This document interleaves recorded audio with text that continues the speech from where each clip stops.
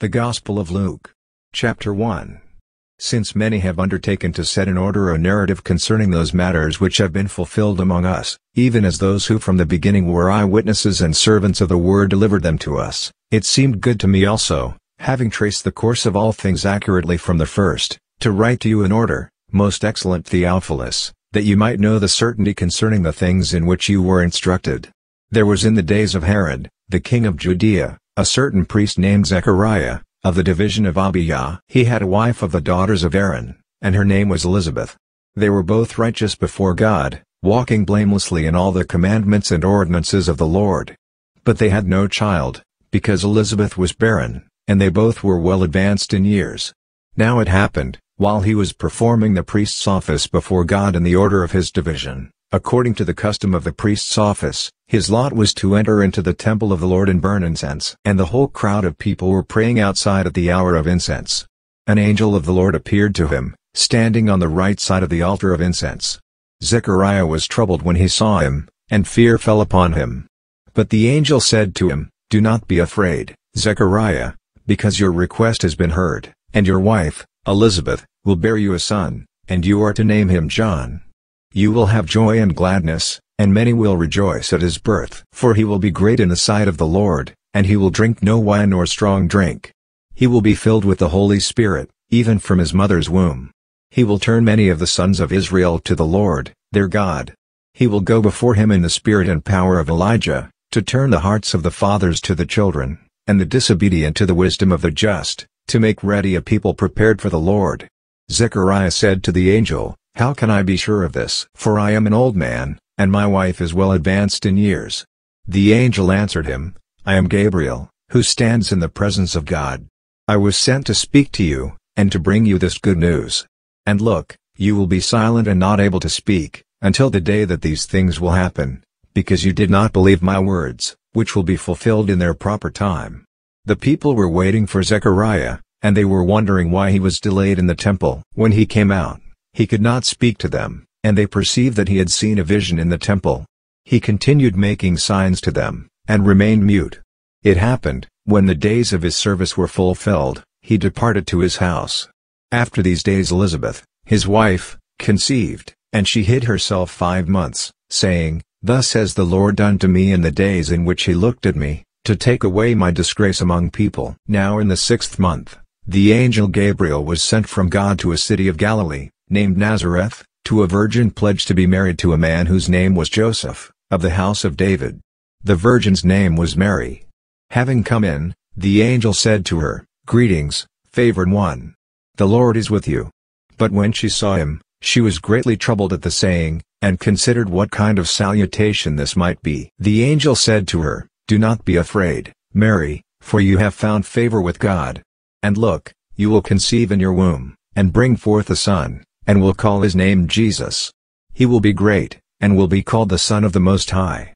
The Lord God will give him the throne of his father, David, and he will reign over the house of Jacob forever. There will be no end to his kingdom. Mary said to the angel, How can this be, seeing I am a virgin? The angel answered her, The Holy Spirit will come on you, and the power of the Most High will overshadow you. Therefore also the Holy One who is born will be called the Son of God. And look, Elizabeth, your relative, also has conceived a son in her old age, and this is the sixth month with her who is called barren. For with God nothing will be impossible. And Mary said, See, the handmaid of the Lord, be it to me according to your word. The angel departed from her. Mary arose in those days and went into the hill country with haste, into a city of Judah, and entered into the house of Zechariah and greeted Elizabeth. It happened, when Elizabeth heard Mary's greeting, that the baby leapt in her womb and Elizabeth was filled with the Holy Spirit. She called out with a loud voice, and said, Blessed are you among women, and blessed is the fruit of your womb. Why am I so favored, that the mother of my Lord should come to me? For a look, when the voice of your greeting came into my ears, the baby leapt in my womb for joy. Blessed is she who believed, for there will be a fulfillment of the things which have been spoken to her from the Lord. Mary said, My soul magnifies the Lord. And my spirit rejoices in God my Savior for he has looked at the humble state of his servant girl. For a look, from now on all generations will call me blessed. For he who is mighty has done great things for me, and holy is his name. His mercy is for generations of generations on those who fear him. He has shown strength with his arm. He has scattered the proud in the imagination of their hearts. He has put down princes from their thrones and has exalted the lowly. He has filled the hungry with good things. He has sent the rich away empty. He has given help to Israel, his servant, that he might remember mercy, as he spoke to our fathers, to Abraham and his offspring forever. Mary stayed with her about three months, and then returned to her house. Now the time that Elizabeth should give birth was fulfilled, and she brought forth a son. Her neighbors and her relatives heard that the Lord had magnified his mercy towards her, and they rejoiced with her. It happened on the eighth day, that they came to circumcise the child, and they would have called him Zechariah, after the name of the father. His mother answered, Not so, but he will be called John. They said to her, There is no one among your relatives who is called by this name. They made signs to his father, what he would have him called. And he asked for a writing tablet, and wrote, His name is John. And they were all amazed. His mouth was opened immediately, and his tongue freed, and he spoke, blessing God. Fear came on all who lived around them, and all these sayings were talked about throughout all the hill country of Judea. All who heard them laid them up in their heart, saying, What then will this child be? The hand of the Lord was with him. His father, Zechariah, was filled with the Holy Spirit, and prophesied, saying, Blessed be the Lord, the God of Israel, for he has visited and worked redemption for his people, and has raised up a horn of salvation for us in the house of his servant David, as he spoke by the mouth of his holy prophets who have been from of old, salvation from our enemies, and from the hand of all who hate us, to show mercy towards our fathers, to remember his holy covenant, the oath which he spoke to Abraham, our father, to grant to us that we, being delivered out of the hand of our enemies, should serve him without fear, in holiness and righteousness before him all our days. And you, child, will be called a prophet of the Most High, for you will go before the Lord to make ready his ways, to give knowledge of salvation to his people by the forgiveness of their sins, because of the tender mercy of our God, whereby the dawn from on high will visit us, to shine on those who sit in darkness and the shadow of death, to guide our feet into the way of peace. The child was growing, and becoming strong in spirit, and was in the desert until the day of his public appearance to Israel. Chapter 2 Now it happened in those days, that a decree went out from Caesar Augustus that all the world should be enrolled. This was the first enrollment made when Quirinius was governor of Syria. All went to enroll themselves, everyone to his own city. Joseph also went up from Galilee, out of the city of Nazareth, into Judea, to the city of David, which is called Bethlehem, because he was of the house and family of David, to enroll himself with Mary, who was pledged to be married to him, being pregnant. It happened, while they were there, that the day had come that she should give birth.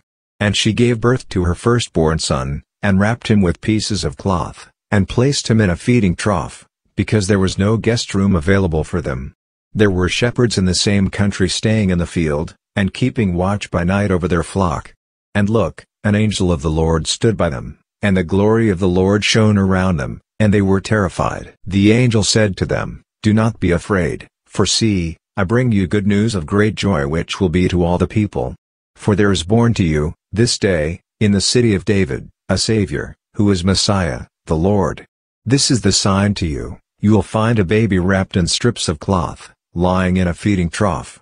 Suddenly, there was with the angel a multitude of the heavenly host praising God, and saying, Glory to God in the highest, and on earth peace, goodwill toward humankind. And it happened that when the angels went away from them into the sky, the shepherds said one to another, Let us go to Bethlehem, now, and see this thing that has happened, which the Lord has made known to us. They came with haste, and found both Mary and Joseph, and the baby was lying in the feeding trough. When they saw it, they made known the saying which was spoken to them about this child. All who heard it wondered at the things which were spoken to them by the shepherds. But Mary kept all these sayings, pondering them in her heart.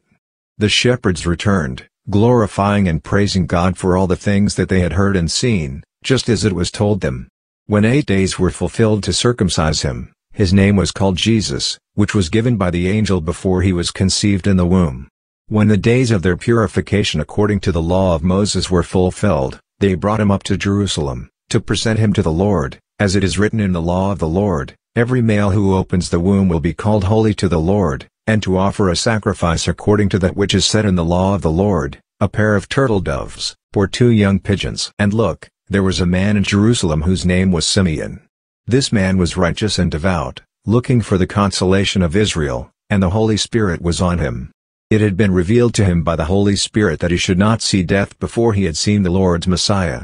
He came in the Spirit into the temple. When the parents brought in the child, Jesus, that they might do concerning him according to the requirement of the law, then he received him into his arms, and blessed God, and said, Now you are releasing your servant, sovereign Lord, according to your word, in peace, for my eyes have seen your salvation, which you have prepared before the face of all peoples, a light for revelation to the nations, and the glory of your people Israel.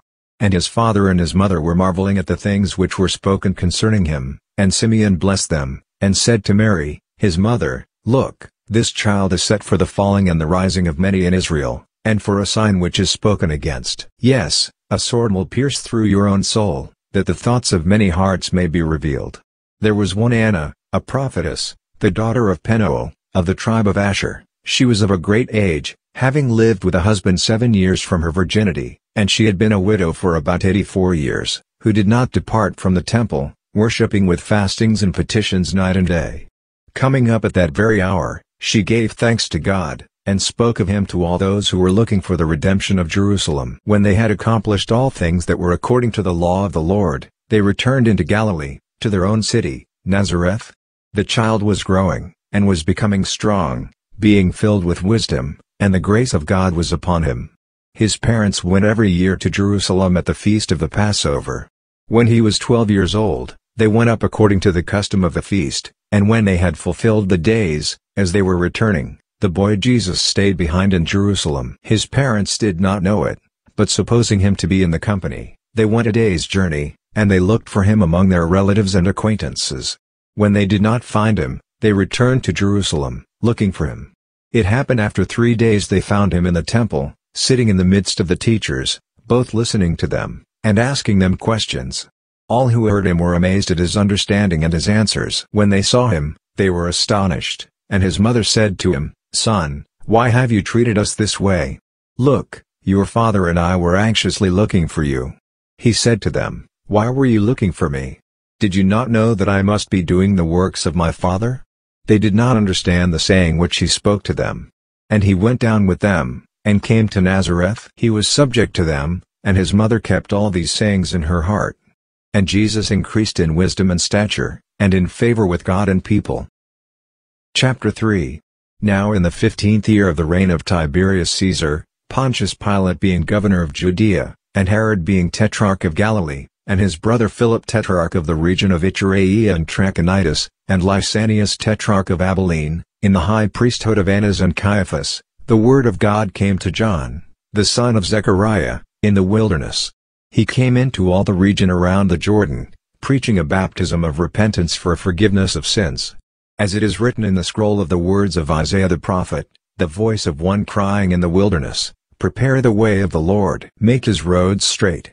Every valley will be filled, and every mountain and hill will be made low, and the crooked will be made straight, and the rough ways smooth.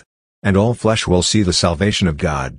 He said therefore to the crowds who went out to be baptized by him, You offspring of vipers, who warned you to flee from the wrath to come. Bring forth therefore fruits worthy of repentance, and do not begin to say among yourselves, We have Abraham for our father, for I tell you that God is able to raise up children to Abraham from these stones. Even now the axe also lies at the root of the trees. Every tree therefore that does not bring forth good fruit is cut down, and thrown into the fire. The crowds asked him, What then must we do? He answered them, He who has two coats, let him give to him who has none. He who has food, let him do likewise. Tax collectors also came to be baptized, and they said to him, Teacher, what must we do? He said to them, Collect no more than that which is appointed to you. Soldiers also asked him, saying, What about us? What must we do? He said to them, Extort from no one by violence, neither accuse anyone wrongfully. Be content with your wages. As the people were in expectation, and all were wondering in their hearts concerning John, whether perhaps he was the Messiah, John answered them all, I indeed baptize you with water, but he comes who is mightier than I, the strap of whose sandals I am not worthy to loosen. He will baptize you with the Holy Spirit and with fire, whose winnowing fork is in his hand, to clear his threshing floor, and to gather the wheat into his barn, but he will burn up the chaff with unquenchable fire. Then with many other exhortations he preached good news to the people, but Herod the Tetrarch, being reproved by him for Herodias, his brother's wife, and for all the evil things which Herod had done, added this also to them all, that he shut up John in prison.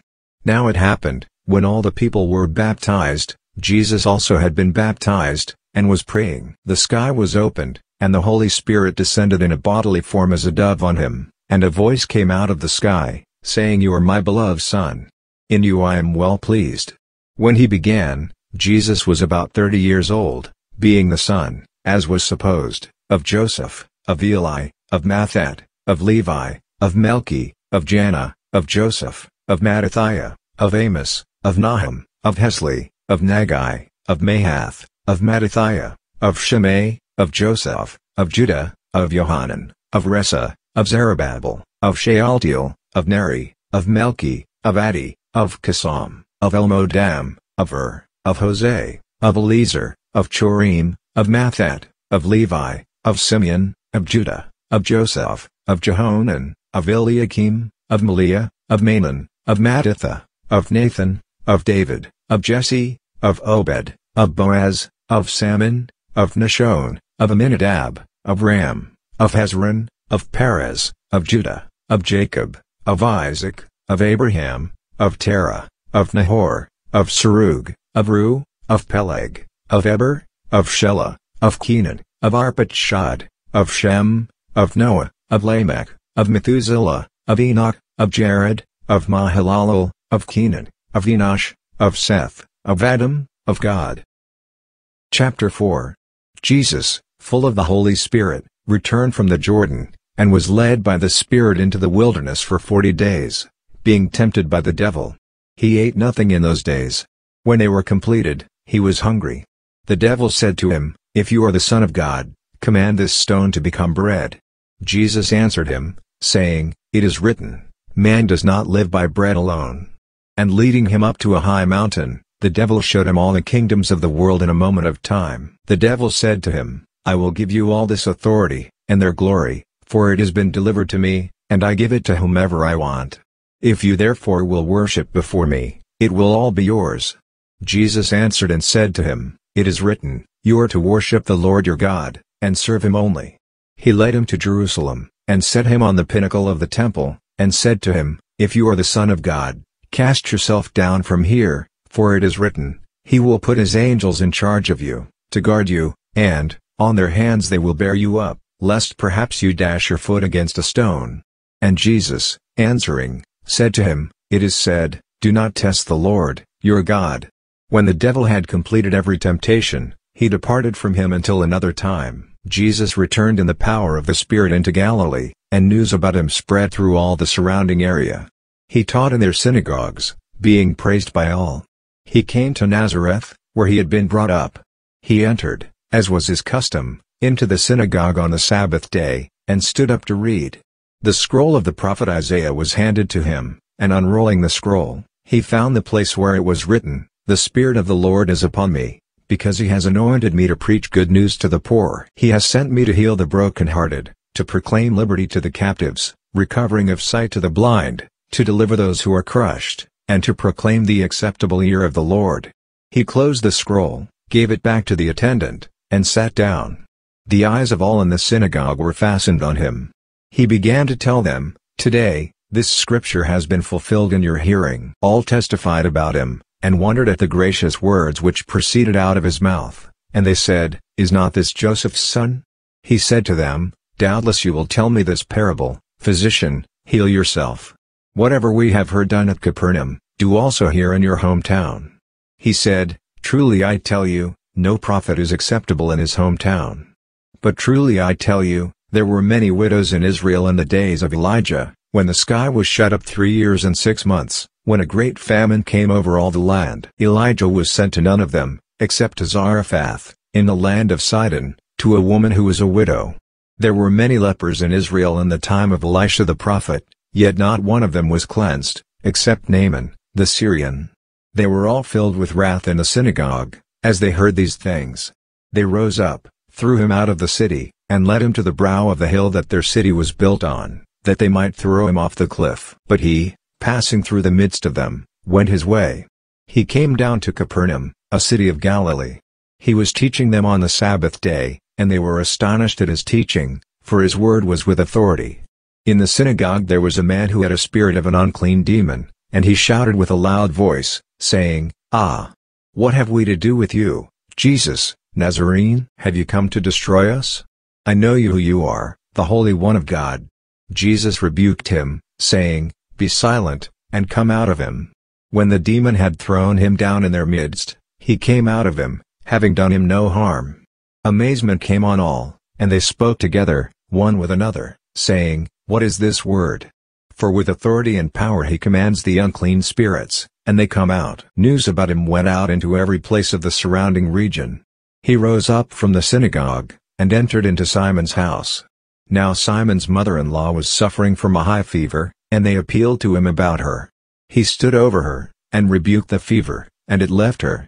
Immediately she rose up and served them. When the sun was setting, all those who had any sick with various diseases brought them to him, and he laid his hands on every one of them, and healed them. Demons also came out from many, crying out, and saying, You are the Son of God. But he rebuked them and did not allow them to speak, because they knew that he was the Messiah. When it was day, he departed and went into an uninhabited place, and the crowds looked for him, and came to him, and held on to him, so that he would not go away from them. But he said to them, I must proclaim the good news of the kingdom of God to the other cities also. For this reason I have been sent.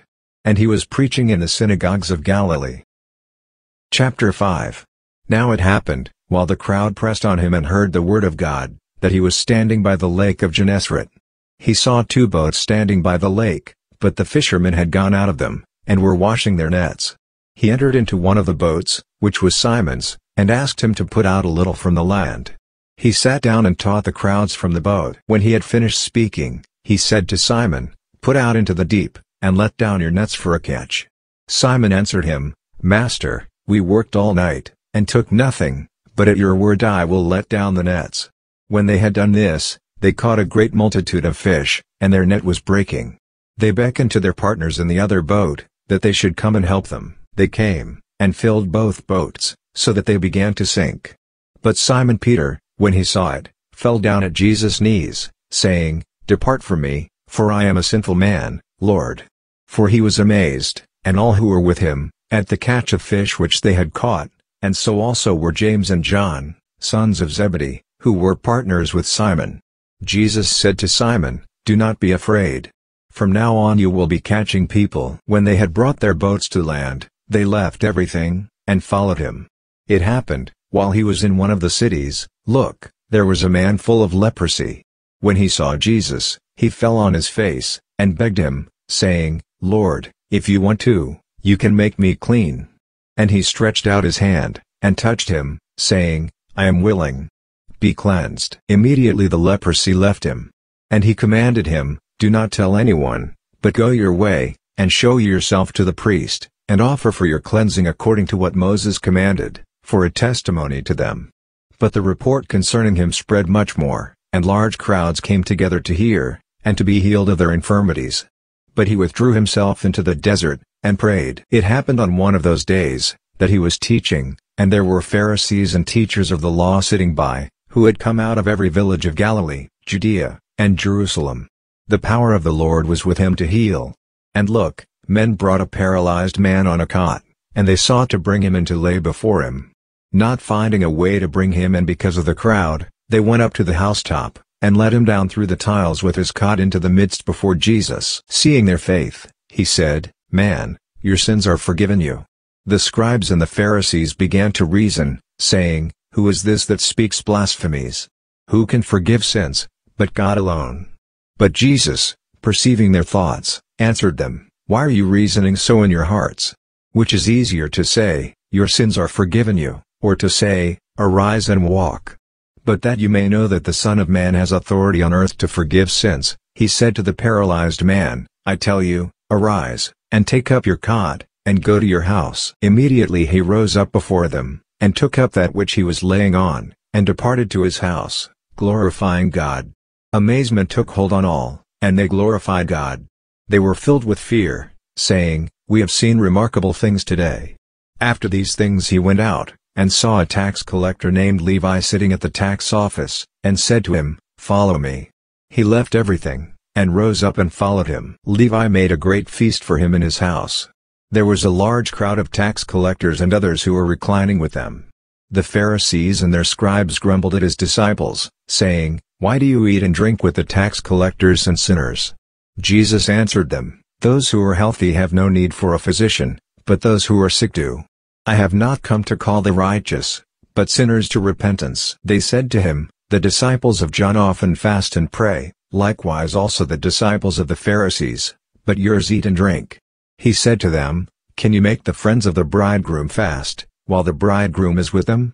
But the days will come when the bridegroom will be taken away from them. Then they will fast in those days. He also told a parable to them. No one having torn a piece from a new garment puts it on an old garment, or else he will tear the new, and also the piece from the new will not match the old. And no one puts new wine into old wineskins, or else the new wine will burst the skins, and it will be spilled, and the skins will be destroyed. But new wine must be put into fresh wineskins. And no one having drunk old wine desires new, for he says, The old is good. Chapter 6 Now it happened on the second chief Sabbath that he was going through the grain fields. His disciples plucked the heads of grain, and ate, rubbing them in their hands.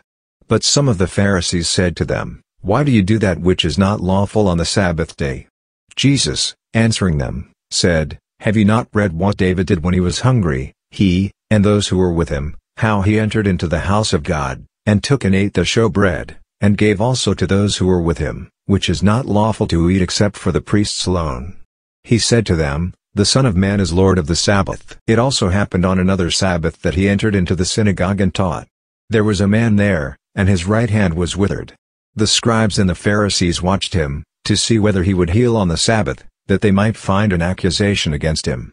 But he knew their thoughts, and he said to the man who had the withered hand, Rise up, and stand in the middle. He arose and stood. Then Jesus said to them, I ask you, is it lawful on the Sabbath to do good, or to do harm?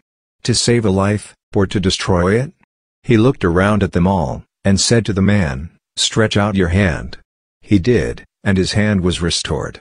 But they were filled with rage, and talked with one another about what they might do to Jesus. It happened in these days, that he went out to the mountain to pray, and he continued all night in prayer to God. When it was day, he called his disciples, and from them he chose twelve, whom he also named apostles, Simon, whom he also named Peter, and Andrew his brother, James, John, Philip, Bartholomew, Matthew, Thomas, James, the son of Alphaeus, Simon, who was called the Zealot, Judas the son of James, and Judas Iscariot, who also became a traitor. He came down with them, and stood on a level place, with a large crowd of his disciples, and a great number of the people from all Judea and Jerusalem, and the seacoast of Tyre and Sidon, who came to hear him and to be healed of their diseases, and those who were troubled with unclean spirits were cured. All the crowd sought to touch him, for power came out from him and healed them all. He lifted up his eyes to his disciples, and said, Blessed are you who are poor, for yours is the kingdom of God. Blessed are you who hunger now, for you will be filled. Blessed are you who weep now, for you will laugh.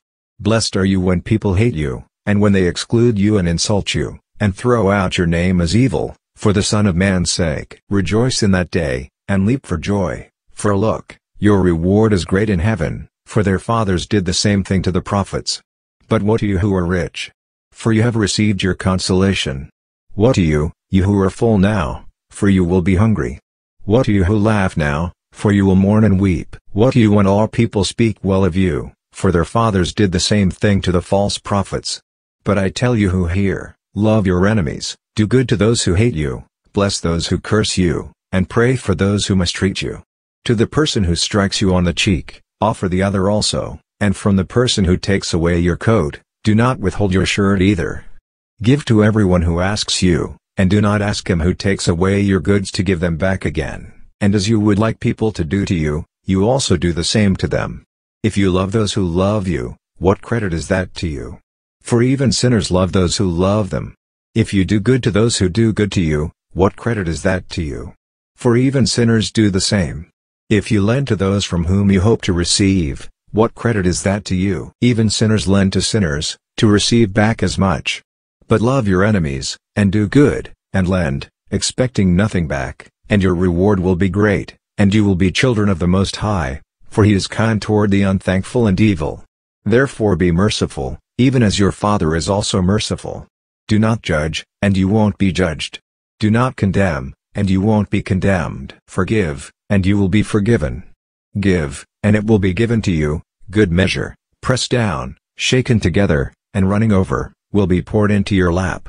For with the same measure you measure it will be measured back to you. He spoke a parable to them. Can the blind guide the blind?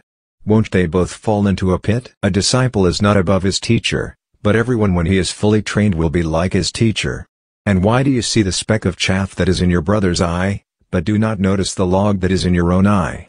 Or how can you tell your brother, Brother, let me remove the speck of chaff that is in your eye, when you yourself do not see the log that is in your own eye?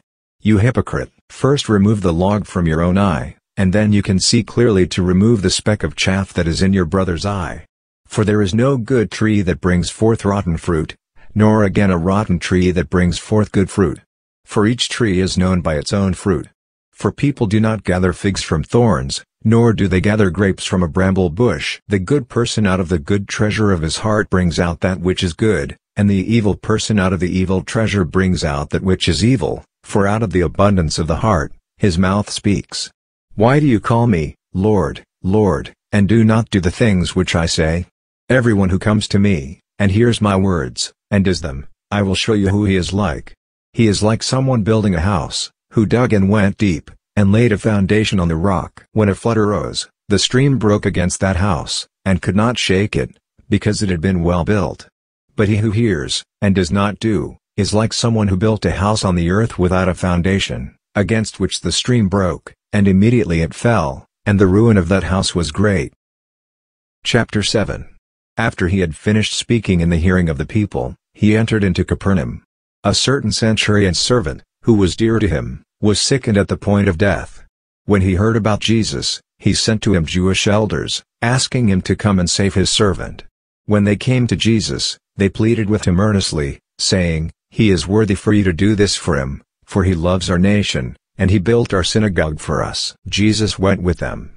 When he was now not far from the house, the centurion sent friends, saying to him, Lord, do not trouble yourself, for I am not worthy for you to come under my roof.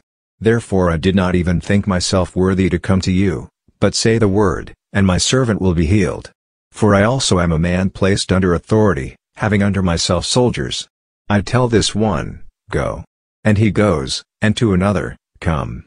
And he comes, and to my servant, Do this, and he does it. When Jesus heard these things, he was amazed at him, and turned and said to the crowd who followed him, I tell you, I have not found such great faith, no, not in Israel. And when those who had been sent returned to the house, they found the servant in good health. It happened soon afterwards, that he went to a city called Nain. His disciples, along with a large crowd, went with him. And when he drew near to the gate of the city, then look, a man who was dead was carried out, the only son of his mother, and she was a widow, and a large crowd from the city was with her. When the Lord saw her, he had compassion on her, and said to her, Do not cry. He came near and touched the coffin, and the bearer stood still. He said, Young man, I tell you, arise. He who was dead sat up, and began to speak.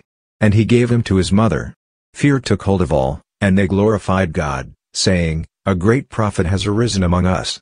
And, God has visited his people. This report went out concerning him in the whole of Judea, and in all the surrounding region. The disciples of John told him about all these things. John, calling to himself two of his disciples, sent them to the Lord, saying, Are you the one who is to come, or should we look for another? When the men had come to him, they said, John the Baptist has sent us to you, saying, Are you the one who is to come, or should we look for another? In that hour he cured many of diseases and plagues and evil spirits, and to many who were blind he gave sight. Jesus answered them, Go and tell John the things which you have seen and heard, that the blind receive their sight, the lame walk, the lepers are cleansed, the deaf hear, the dead are raised up, and the poor have good news preached to them. Blessed is he who is not offended by me. When John's messengers had departed, he began to tell the crowds about John. What did you go out into the wilderness to see? A reed shaken by the wind? But what did you go out to see? A man clothed in soft clothing? Look, those who are gorgeously dressed, and live delicately, are in king's courts. But what did you go out to see? A prophet? Yes, I tell you, and much more than a prophet. This is he of whom it is written, Look, I send my messenger ahead of you, who will prepare your way before you. I tell you, among those who are born of women there is none greater than John, yet he who is least in the kingdom of God is greater than he.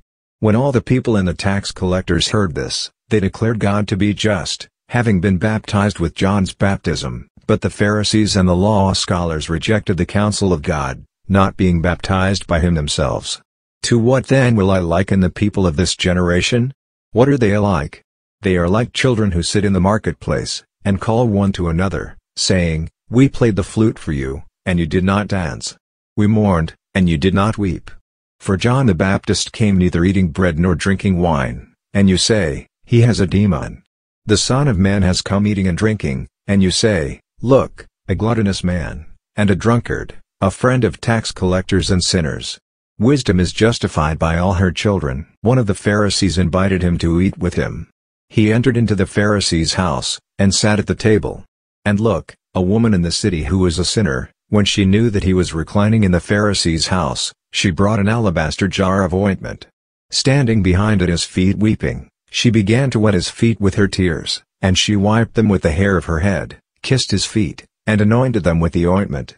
Now when the Pharisee who had invited him saw it, he said to himself, This man, if he were a prophet, would have perceived who and what kind of woman this is who touches him, that she is a sinner. Jesus answered him, Simon, I have something to tell you. He said, Teacher, say on. A certain lender had two debtors. The one owed 500 denarii, and the other 50. When they could not pay, he forgave them both. Which of them therefore will love him most? Simon answered, He, I suppose, to whom he forgave the most. He said to him, You have judged correctly. Turning to the woman, he said to Simon, Do you see this woman? I entered into your house, and you gave me no water for my feet, but she has wet my feet with her tears, and wiped them with her hair. You gave me no kiss, but she, since the time I came in, has not ceased to kiss my feet. You did not anoint my head with oil, but she has anointed my feet with ointment. Therefore I tell you, her sins, which are many, are forgiven, for she loved much. But to whom little is forgiven, the same loves little. He said to her, Your sins are forgiven. And those who were reclining with him began to say to themselves, Who is this who even forgives sins? He said to the woman, Your faith has saved you. Go in peace. Chapter 8 It happened soon afterwards, that he went about through cities and villages, proclaiming and bringing the good news of the kingdom of God. With him were the twelve, and certain women who had been healed of evil spirits and infirmities, Mary who was called Magdalene, from whom seven demons had gone out, and Joanna, the wife of Chuza, Herod's steward, Susanna, and many others, who provided for them from their possessions. When a large crowd came together, and people from every city were coming to him, he spoke by a parable. The farmer went out to sow his seed. As he sowed, some fell along the road, and it was trampled underfoot, and the birds of the sky devoured it. Other seed fell on the rock, and as soon as it grew, it withered away, because it had no moisture. Other fell amid the thorns, and the thorns grew with it, and choked it. Other fell into the good ground, and grew, and brought forth fruit one hundred times. As he said these things, he called out, He who has ears to hear, let him hear. Then his disciples asked him, What does this parable mean? He said, To you it is given to know the mysteries of the kingdom of God, but to the rest in parables, that seeing they may not see, and hearing they may not understand. Now the parable is this, the seed is the word of God. Those along the road are those who hear, then the devil comes, and takes away the word from their heart, that they may not believe and be saved. Those on the rock are they who, when they hear, receive the word with joy, but these have no root, who believe for a while, then fall away in time of temptation. That which fell among the thorns, these are those who have heard, and as they go on their way they are choked with cares, riches, and pleasures of life, and bring no fruit to maturity. That in the good ground, these are such as in an honest and good heart, having heard the word, hold it tightly, and bring forth fruit with patience. No one, when he has lit a lamp, covers it with a container, or puts it under a bed, but puts it on a stand, that those who enter in may see the light. For nothing is hidden, that will not be revealed, nor anything secret, that will not be known and come to light. So consider carefully how you listen. For whoever has, to him will be given, and whoever does not have, from him will be taken away even that which he thinks he has. His mother and brothers came to him, and they could not come near him for the crowd.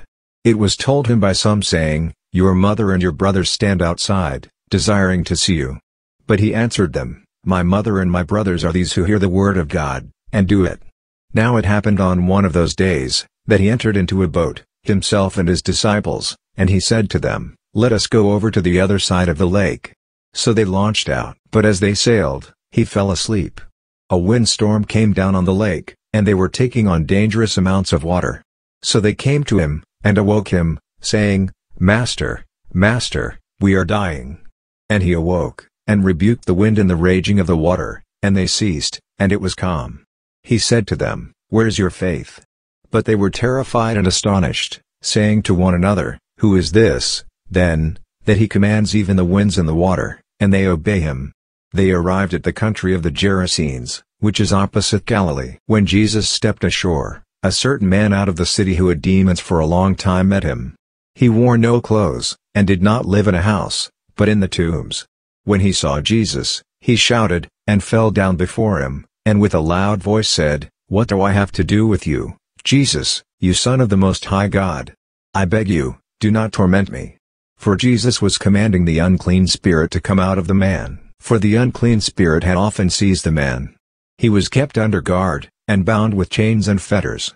Breaking the bands apart, he was driven by the demon into the desert. Jesus asked him, What is your name? He said, Legion, for many demons had entered into him. They pleaded with him that he would not command them to go into the abyss. Now there was there a herd of many pigs feeding on the mountain, and they begged him that he would allow them to enter into those. He allowed them. The demons came out from the man, and entered into the pigs, and the herd rushed down the steep bank into the lake, and were drowned. When those who fed them saw what had happened, they fled, and told it in the city and in the country. Then people went out to see what had happened. They came to Jesus, and found the man from whom the demons had gone out, sitting at Jesus' feet, clothed and in his right mind, and they were afraid. Those who saw it told them how he who had been possessed by demons was healed. All the people of the surrounding country of the Gerasenes asked him to depart from them, for they were very much afraid, and he entered into the boat and returned. But the man from whom the demons had gone out begged him that he might go with him, but Jesus sent him away, saying, Return to your house, and declare what great things God has done for you. He went his way, proclaiming throughout the whole city what great things Jesus had done for him. When Jesus returned, the crowd welcomed him, for they were all waiting for him. And look, there came a man named Jairus, and he was a ruler of the synagogue. He fell down at Jesus' feet, and pleaded with him to come into his house, for he had an only daughter, about twelve years of age, and she was dying. But as he went, the crowds pressed against him. A woman who had a flow of blood for twelve years, who had spent all her living on physicians, and could not be healed by any, came behind him, and touched the fringe of his garment, and immediately the flow of her blood stopped. Jesus said, Who touched me? When all denied it, Peter said, Master, the crowds press and jostle you. But Jesus said, Someone did touch me, for I perceive that power has gone out of me. When the woman saw that she was not hidden, she came trembling, and falling down before him declared to him in the presence of all the people the reason why she had touched him, and how she was healed immediately. He said to her, Daughter, your faith has made you well. Go in peace. While he still spoke, one from the ruler of the synagogue's house came, saying to him, Your daughter is dead. Do not trouble the teacher. But Jesus hearing it, answered him, Do not be afraid. Only believe, and she will be healed. When he came to the house, he did not allow anyone to enter in with him, except Peter, John, James, the father of the child, and her mother. All were weeping and mourning her, but he said, Do not weep. She is not dead, but sleeping. They were ridiculing him, knowing that she was dead. But he, taking her by the hand, called, saying, Child, arise. Her spirit returned, and she rose up immediately. He commanded that something be given to her to eat. Her parents were amazed, but he commanded them to tell no one what had been done. Chapter 9 He called the twelve together, and gave them power and authority over all demons, and to cure diseases. He sent them forth to proclaim the kingdom of God, and to heal the sick.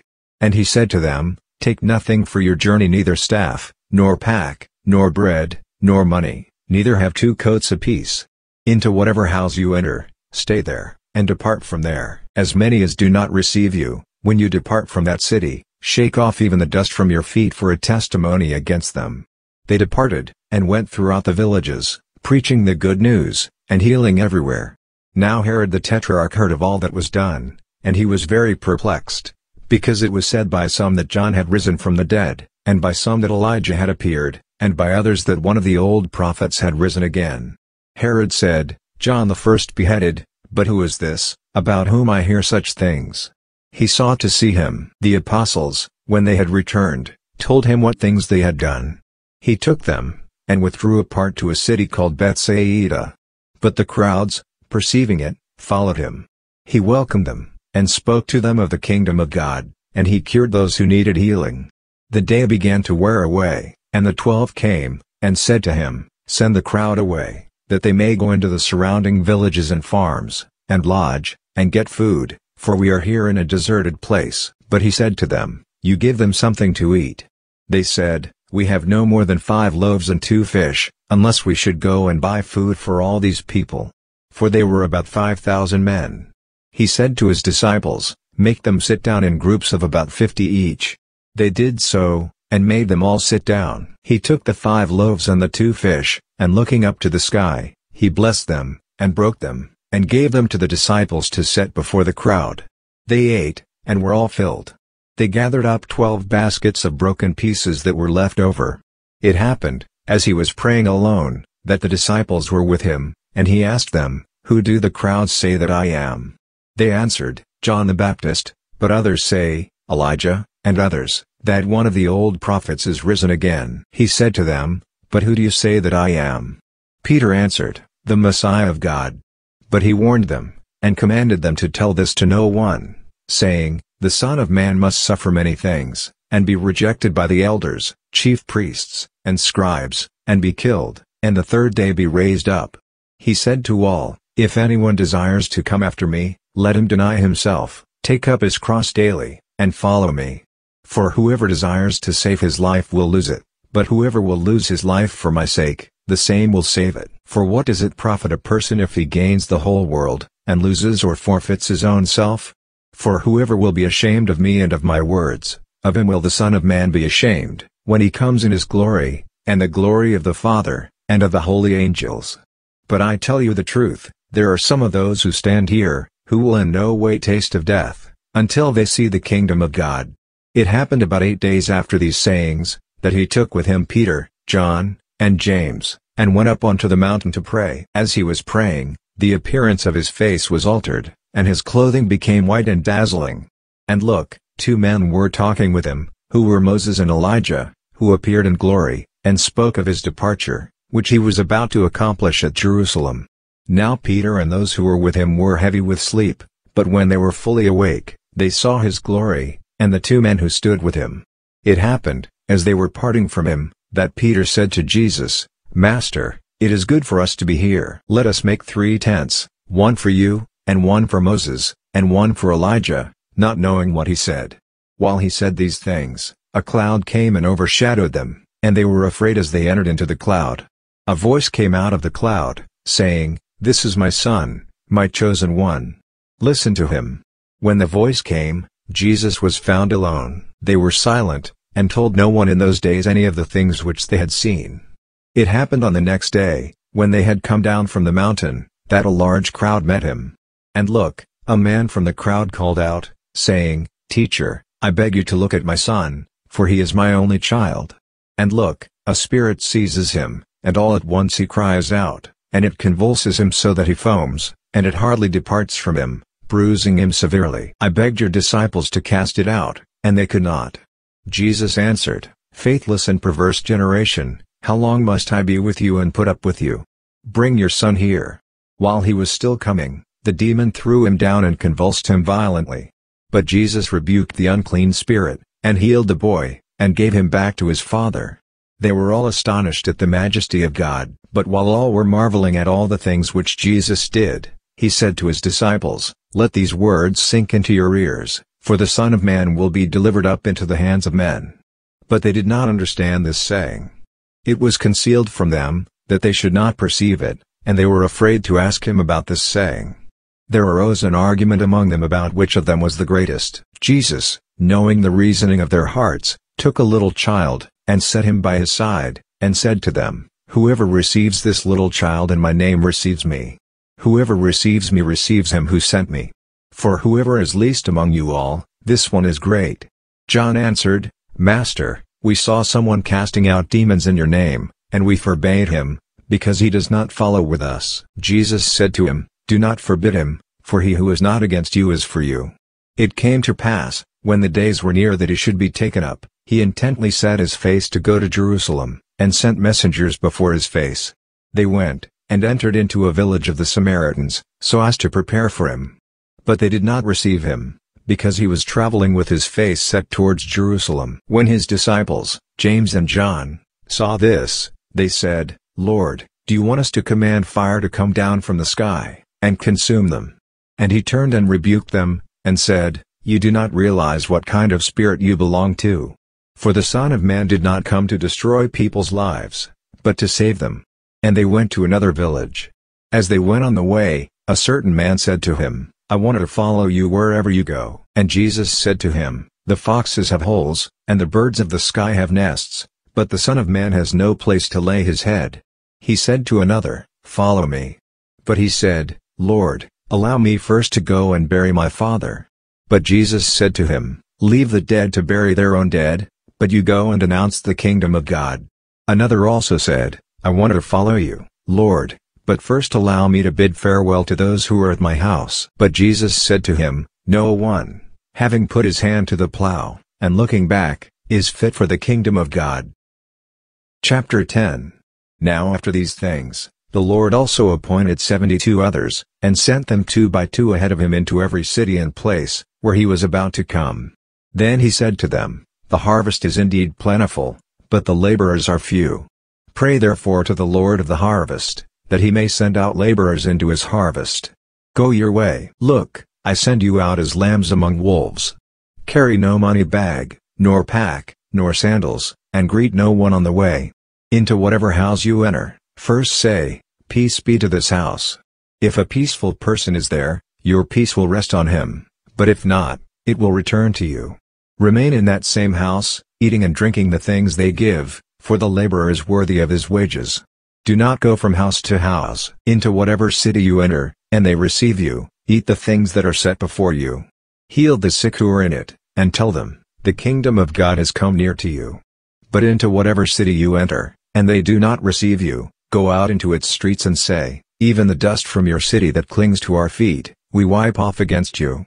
Nevertheless know this, that the kingdom of God is near. I tell you, it will be more tolerable in that day for Sodom than for that city. What to you, Chorazin? What to you, Bethsaida? For if the mighty works had been done in Tyre and Sidon which were done in you, they would have repented long ago, sitting in sackcloth and ashes. But it will be more tolerable for Tyre and Sidon in the judgment than for you. And you, Capernaum, will you be exalted to heaven? You'll be brought down to hell. Whoever listens to you listens to me, and whoever rejects you rejects me. Whoever rejects me rejects him who sent me. The seventy-two returned with joy, saying, Lord, even the demons are subject to us in your name. He said to them, I saw Satan having fallen like lightning from heaven. Look, I have given you authority to tread on serpents and scorpions, and over all the power of the enemy, and nothing will in any way hurt you. Nevertheless, do not rejoice in this, that the spirits are subject to you, but rejoice that your names are written in heaven. In that same hour he rejoiced in the Holy Spirit, and said, I thank you, Father, Lord of heaven and earth, that you have hidden these things from the wise and understanding, and revealed them to little children. Yes, Father, for so it was well-pleasing in your sight. All things have been delivered to me by my Father. No one knows who the Son is, except the Father, and who the Father is, except the Son, and he to whomever the Son desires to reveal him. Turning to the disciples, he said privately, Blessed are the eyes which see the things that you see, for I tell you that many prophets and kings desired to see the things which you see, and did not see them, and to hear the things which you hear, and did not hear them. And look, a certain law scholar stood up and tested him, saying, Teacher, what must I do to inherit everlasting life? He said to him, What is written in the law? How do you read it? He answered, You are to love the Lord your God with all your heart, with all your soul, with all your strength, and with all your mind, and your neighbor as yourself. He said to him, You have answered correctly. Do this, and you will live. But he, desiring to justify himself, asked Jesus, Who is my neighbor? Jesus answered, A certain man was going down from Jerusalem to Jericho, and he fell among robbers, who both stripped him and beat him, and departed, leaving him half dead. By chance a certain priest was going down that way. When he saw him, he passed by on the other side. In the same way a Levite also, when he came to the place, and saw him, passed by on the other side. But a certain Samaritan, as he traveled, came where he was. When he saw him, he was moved with compassion, came to him, and bound up his wounds, pouring on oil and wine. He set him on his own animal, and brought him to an inn, and took care of him. On the next day, he took out two denarii, and gave them to the host, and said to him, Take care of him, whatever you spend beyond that, I will repay you when I return. Now which of these three do you think seemed to be a neighbor to him who fell among the robbers? He said, He who showed mercy on him. Then Jesus said to him, Go and do likewise. It happened as they went on their way, he entered into a certain village, and a certain woman named Martha received him into her house. She had a sister called Mary, who also sat at the Lord's feet, and heard his word. But Martha was distracted with much serving, and she came up to him, and said, Lord, do you not care that my sister left me to serve alone? Ask her therefore to help me. But the Lord answered and said to her, Martha, Martha, you are anxious and troubled about many things, but one thing is needed. Mary has chosen the good part, which will not be taken away from her. Chapter 11 It happened, that when he finished praying in a certain place, one of his disciples said to him, Lord, teach us to pray, just as John also taught his disciples.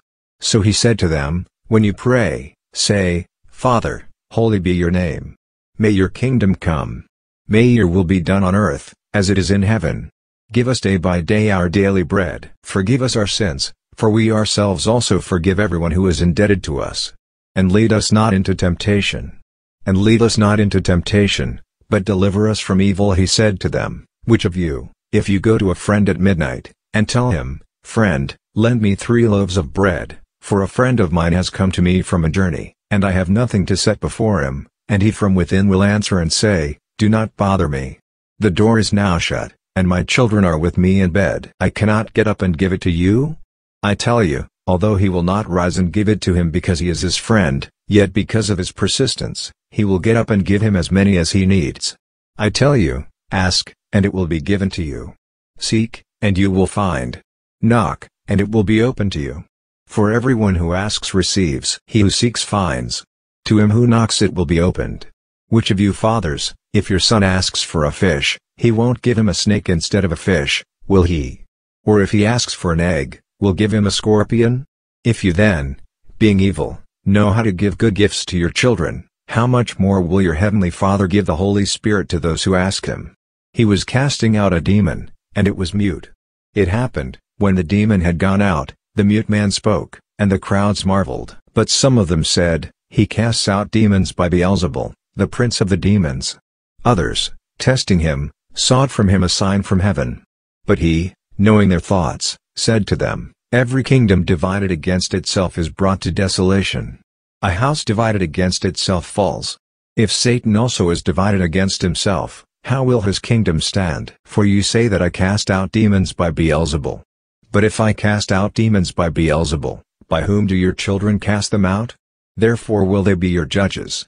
But if I by the finger of God cast out demons, then the kingdom of God has come to you. When the strong man, fully armed, guards his own dwelling, his goods are safe.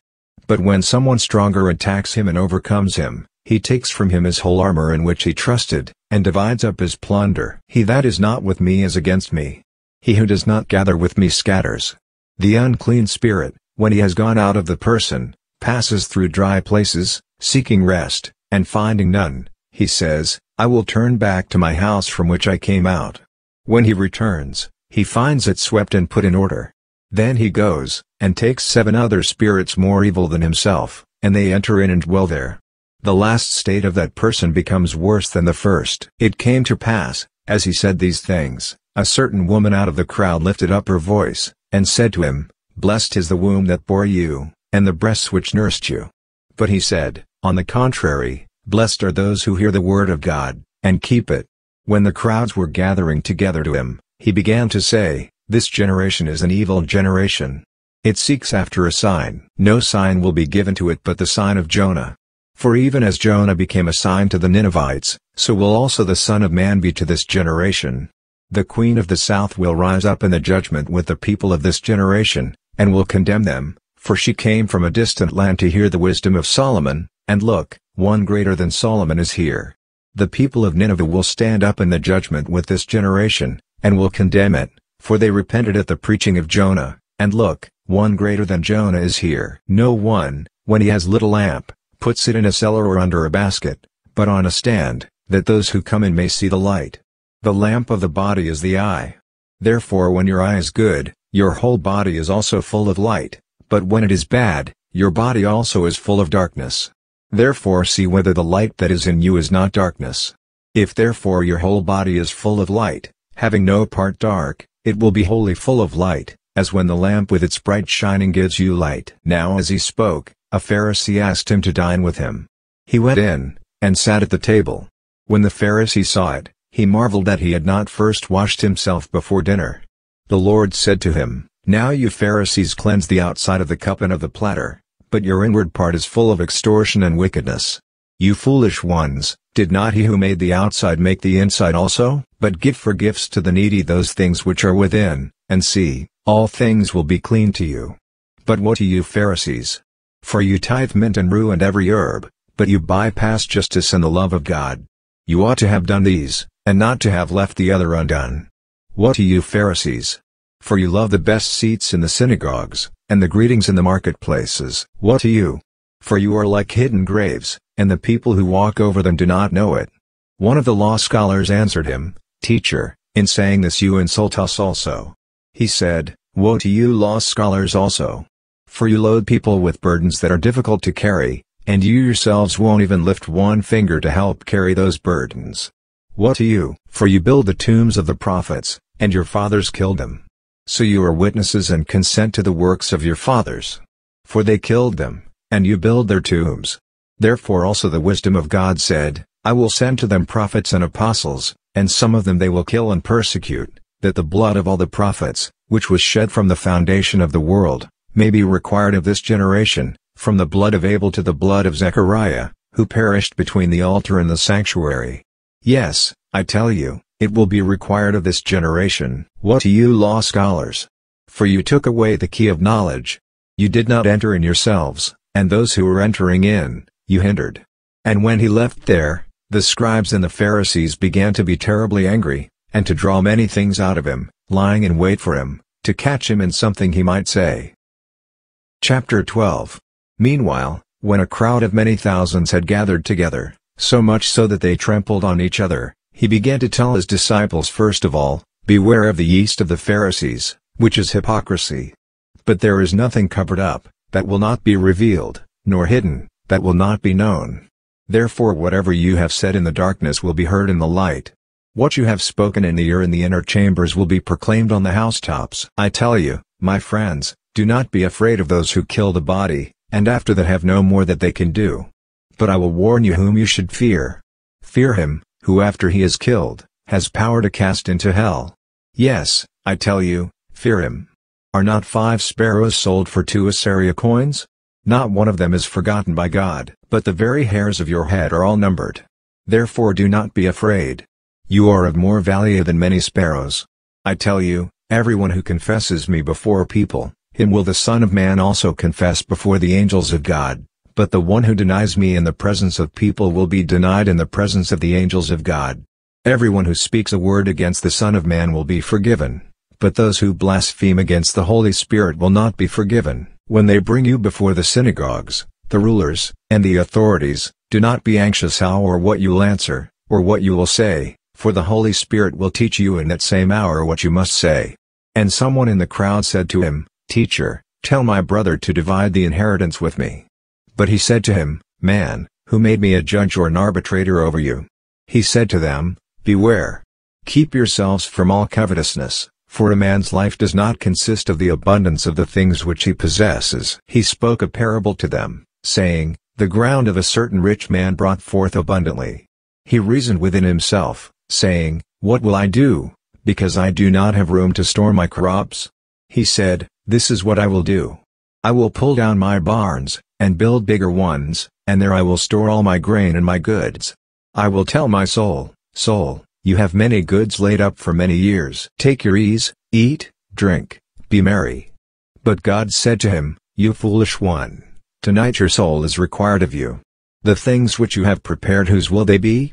So is he who lays up treasure for himself, and is not rich toward God. He said to his disciples, Therefore I tell you, do not be anxious for your life, what you will eat, nor yet for your body, what you will wear.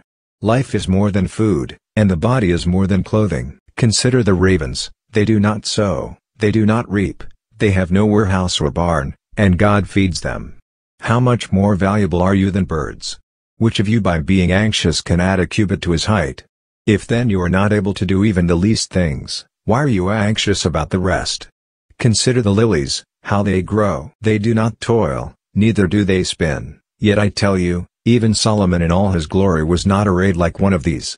But if this is how God clothes the grass in the field, which today exists, and tomorrow is cast into the oven, how much more will he clothe you, O you of little faith? Do not seek what you will eat or what you will drink, neither be anxious. For the nations of the world seek after all of these things, but your Father knows that you need these things. But seek his kingdom, and these things will be added to you. Do not be afraid, little flock, for it is your Father's good pleasure to give you the kingdom. Sell that which you have, and give gifts to the needy. Make for yourselves purses which do not grow old, a treasure in the heavens that does not fail, where no thief approaches, neither moth destroys. For where your treasure is, there will your heart be also. Let your waist be girded and your lamps burning. Be like people watching for their Lord, when he returns from the marriage feast, that, when he comes and knocks, they may immediately open to him. Blessed are those servants, whom the Lord will find watching when he comes. Truly I tell you, that he will dress himself, and make them recline, and will come and serve them. And if he comes in the second watch, or even in the third, and finds them so, blessed are they, but know this, that if the master of the house had known in what hour the thief was coming, he would have watched and not have allowed his house to be broken into. Therefore be ready also, for the Son of Man is coming in an hour that you do not expect him. Peter said to him, Lord, are you telling this parable to us, or to everybody? The Lord said, Who then is the faithful and wise steward, whom his Lord will set over his household, to give them their portion of food at the right times? Blessed is that servant whom his Lord will find doing so when he comes. Truly I tell you, that he will set him over all that he has. But if that servant says in his heart, My Lord delays his coming, and begins to beat the men servants and the maidservants, and to eat and drink, and to be drunk, then the Lord of that servant will come in a day when he is not expecting him, and in an hour that he does not know, and will cut him in two, and place his portion with the unfaithful. That servant, who knew his Lord's will, and did not prepare, nor do what he wanted, will be beaten with many stripes, but he who did not know, and did things worthy of stripes, will be beaten with few stripes. To whomever much is given, of him will much be required, and to whom much was entrusted, of him more will be asked. I came to throw fire on the earth. I wish it were already kindled. But I have a baptism to be baptized with, and how distressed I am until it is accomplished. Do you think that I have come to give peace in the earth? I tell you, no, but rather division. For from now on, there will be five in one house divided, three against two, and two against three. They will be divided, father against son, and son against father, mother against daughter, and daughter against her mother, mother-in-law against her daughter-in-law, and daughter-in-law against her mother-in-law. He said to the crowds also, When you see a cloud rising from the west, immediately you say, A shower is coming, and so it happens. When a south wind blows, you say, There will be a scorching heat, and it happens. Hypocrites! You know how to interpret the appearance of the earth and the sky, but why do you not know how to interpret this time? Why do you not judge for yourselves what is right? For when you are going with your adversary before the magistrate, try diligently on the way to be released from him, lest perhaps he drag you to the judge, and the judge deliver you to the officer, and the officer throw you into prison. I tell you, you will by no means get out of there, until you have paid the very last penny. Chapter 13 now there were some present at the same time who told him about the Galileans, whose blood Pilate had mixed with their sacrifices. And Jesus answered and said to them, Do you think that these Galileans were worse sinners than all the other Galileans, because they suffered these things? I tell you, no, but unless you repent, you will all perish in the same way. Or those eighteen, on whom the tower in Siloam fell, and killed them, do you think that they were worse offenders than all the others who dwell in Jerusalem? I tell you, no, but, unless you repent, you will all perish in the same way. He spoke this parable. A certain man had a fig tree planted in his vineyard, and he came seeking fruit on it, and found none.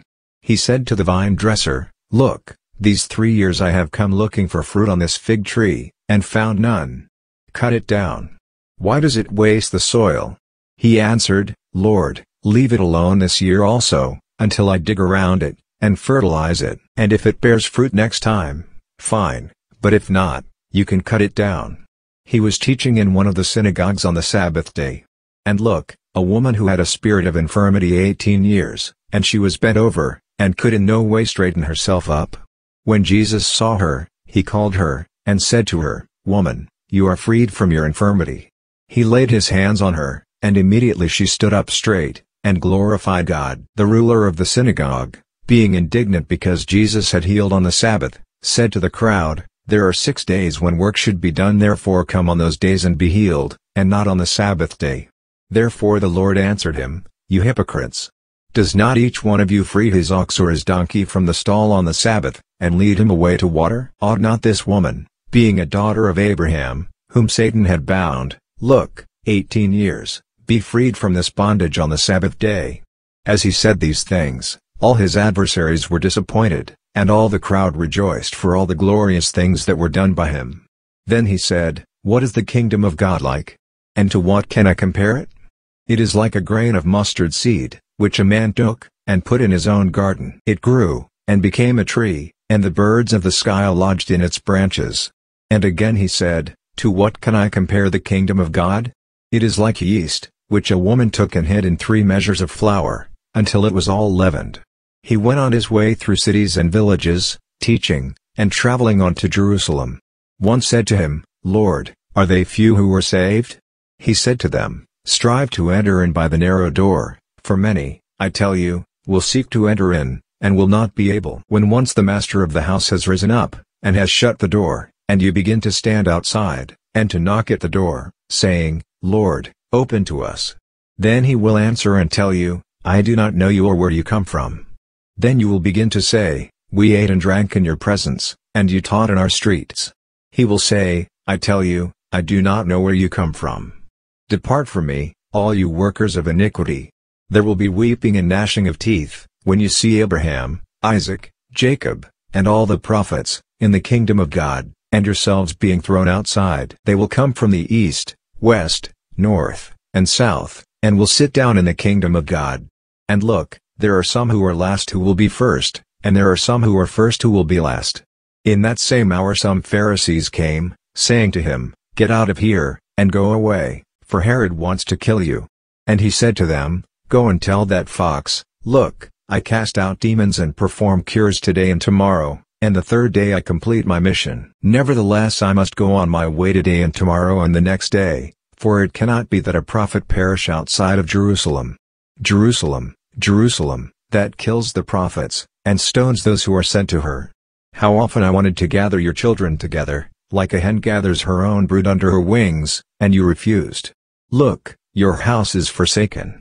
I tell you, you will not see me, until you say, Blessed is he who comes in the name of the Lord. Chapter 14 And it happened, when he went into the house of one of the rulers of the Pharisees on a Sabbath to eat bread, that they were watching him. And look, a certain man who had dropsy was in front of him. Jesus, answering, spoke to the law scholars and Pharisees, saying, Is it lawful to heal on the Sabbath or not? But they were silent. He took him, and healed him, and let him go. He answered them, Which of you, if your son or an ox fell into a well, would not immediately pull him out on a Sabbath day? They could not answer him regarding these things. He spoke a parable to those who were invited, when he noticed how they chose the best seats, and said to them, When you are invited by anyone to a marriage feast, do not sit in the best seat, since perhaps someone more honorable than you might be invited by him, and he who invited both of you would come and tell you, Make room for this person. Then you would begin, with shame, to take the lowest place, but when you are invited, go and sit in the lowest place, so that when he who invited you comes, he may tell you, Friend, move up higher. Then you will be honored in the presence of all who sit at the table with you. For everyone who exalts himself will be humbled, and whoever humbles himself will be exalted. He also said to the one who had invited him, When you make a dinner or a supper, do not call your friends, nor your brothers, nor your kinsmen, nor rich neighbors, or perhaps they might also return the favor, and pay you back. But when you make a feast, ask the poor, the maimed, the lame, or the blind, and you will be blessed, because they do not have the resources to repay you. For you will be repaid in the resurrection of the righteous. Now when one of those who were reclining with him heard these things, he said to him, Blessed is he who will eat bread in the kingdom of God. But he said to him, A certain man made a great supper, and he invited many people. And he sent his servant at the hour for supper to tell those who were invited, Come, for everything is ready now. They all as one began to make excuses. The first said to him, I have bought a field, and I must go and see it. Please have me excused. Another said, I have bought five yoke of oxen, and I must go try them out. Please have me excused. Another said, I have married a wife, and therefore I cannot come.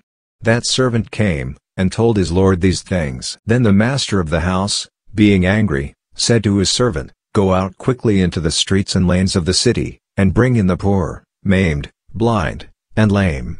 The servant said, Lord, it is done as you commanded, and there is still room. The Lord said to the servant, Go out into the highways and hedges, and compel them to come in, that my house may be filled. For I tell you that none of those individuals who were invited will taste of my supper. Now large crowds were going with him. He turned and said to them, If anyone comes to me, and does not hate his own father, mother, wife, children, brothers, and sisters, yes, and his own life also, he cannot be my disciple. Whoever does not bear his own cross, and come after me, cannot be my disciple. For which of you, desiring to build a tower, does not first sit down and count the cost, to see if he has enough to complete it? Or perhaps, when he has laid a foundation, and is not able to finish, everyone who sees begins to mock him, saying, This man began to build, and was not able to finish. Or what king, as he goes to encounter another king in war, will not sit down first and consider whether he is able with 10,000 to meet him who comes against him with 20,000. Or else, while the other is yet a great way off, he sends an envoy, and asks for conditions of peace. So therefore whoever of you who does not renounce all that he has, he cannot be my disciple. Salt is good, but if the salt becomes flat and tasteless, with what do you season it? It is fit neither for the soil nor for the manure pile. It is thrown out. He who has ears to hear, let him hear. Chapter 15 Now all the tax collectors and sinners were coming close to him to hear him. The Pharisees and the scribes murmured, saying, This man welcomes sinners, and eats with them. He told them this parable. Which one of you, if you had one hundred sheep, and lost one of them, would not leave the ninety-nine in the wilderness, and go after the one that was lost, until he found it? When he has found it, he carries it on his shoulders, rejoicing. When he comes home, he calls together his friends and his neighbors, saying to them, Rejoice with me, for I have found my sheep which was lost. I tell you that even so there will be more joy in heaven over one sinner who repents, than over ninety-nine righteous people who need no repentance. Or what woman, if she had ten drachma coins, if she lost one drachma coin, would not light a lamp, sweep the house, and seek diligently until she found it? When she has found it, she calls together her friends and neighbors, saying, Rejoice with me, for I have found the drachma which I had lost. Even so, I tell you, there is joy in the presence of the angels of God over one sinner repenting. He said, A certain man had two sons. The younger of them said to his father, Father, give me my share of your property. He divided his livelihood between them. Not many days after, the younger son gathered all of this together and traveled into a far country. There he wasted his property with riotous living. When he had spent all of it, there arose a severe famine in that country, and he began to be in need. He went and joined himself to one of the citizens of that country, and he sent him into his fields to feed pigs. And he wanted to fill himself with the carob pods that the pigs ate, but no one gave him any. But when he came to himself he said, How many hired servants of my father's have bread enough to spare, and I'm dying here with hunger. I will get up and go to my father, and will tell him, Father, I have sinned against heaven, and in your sight. I am no longer worthy to be called your son. Make me like one of your hired servants. He arose, and came to his father. But while he was still far off, his father saw him, and was moved with compassion, and ran, and fell on his neck, and kissed him. The son said to him, Father, I have sinned against heaven, and in your sight. I am no longer worthy to be called your son. But the father said to his servants, Quickly, bring out the best robe, and put it on him. Put a ring on his hand, and shoes on his feet. Bring the fattened calf, kill it, and let us eat, and celebrate, for this, my son, was dead, and is alive again. He was lost, and is found. They began to celebrate. Now his elder son was in the field. As he came near to the house, he heard music and dancing. He called one of the servants to him, and asked what was going on. He said to him, Your brother has come, and your father has killed the fattened calf, because he has received him back safe and healthy? But he was angry, and would not go in. Therefore his father came out, and pleaded with him. But he answered his father, Look, these many years I have served you, and I never disobeyed a commandment of yours, but you never gave me a goat, that I might celebrate with my friends.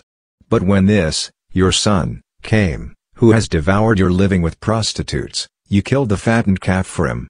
He said to him, Son, you are always with me, and all that is mine is yours, but it was appropriate to celebrate and be glad, for this brother of yours was dead and is alive, and he was lost, and is found. Chapter 16 He also said to his disciples, There was a certain rich man who had a manager. An accusation was made to him that this man was wasting his possessions. He called him, and said to him, What is this that I hear about you? Give an accounting of your management, for you can no longer be manager. The manager said within himself, What will I do, seeing that my lord is taking away the management position from me? I do not have strength to dig. I am ashamed to beg. I know what I will do, so that when I am removed from management, they may receive me into their houses. Calling each one of his lord's debtors to him, he said to the first, How much do you owe to my lord? He said, A hundred batos of oil. He said to him, Take your bill, and sit down quickly and write fifty. Then he said to another, How much do you owe? He said, A hundred cors of wheat. He said to him, Take your bill, and write eighty. His lord commended the dishonest manager for his shrewdness, for the people of this age are more shrewd in dealing with their own generation than the people of light. And I say to you, make friends for yourselves by means of unrighteous mammon, so that when it is gone they may welcome you into the everlasting dwellings. He who is faithful in a very little is faithful also in much. He who is dishonest in a very little is also dishonest in much. If therefore you have not been faithful in the unrighteous mammon, who will commit to your trust the true riches? If you have not been faithful in that which is another's, who will give you that which is your own? No servant can serve two masters, for either he will hate the one, and love the other, or else he will hold to one, and despise the other. You are not able to serve God in wealth. The Pharisees, who were lovers of money, also heard all these things, and they scoffed at him. He said to them, You are those who justify yourselves in the sight of people, but God knows your hearts. For that which is exalted among people is an abomination in the sight of God.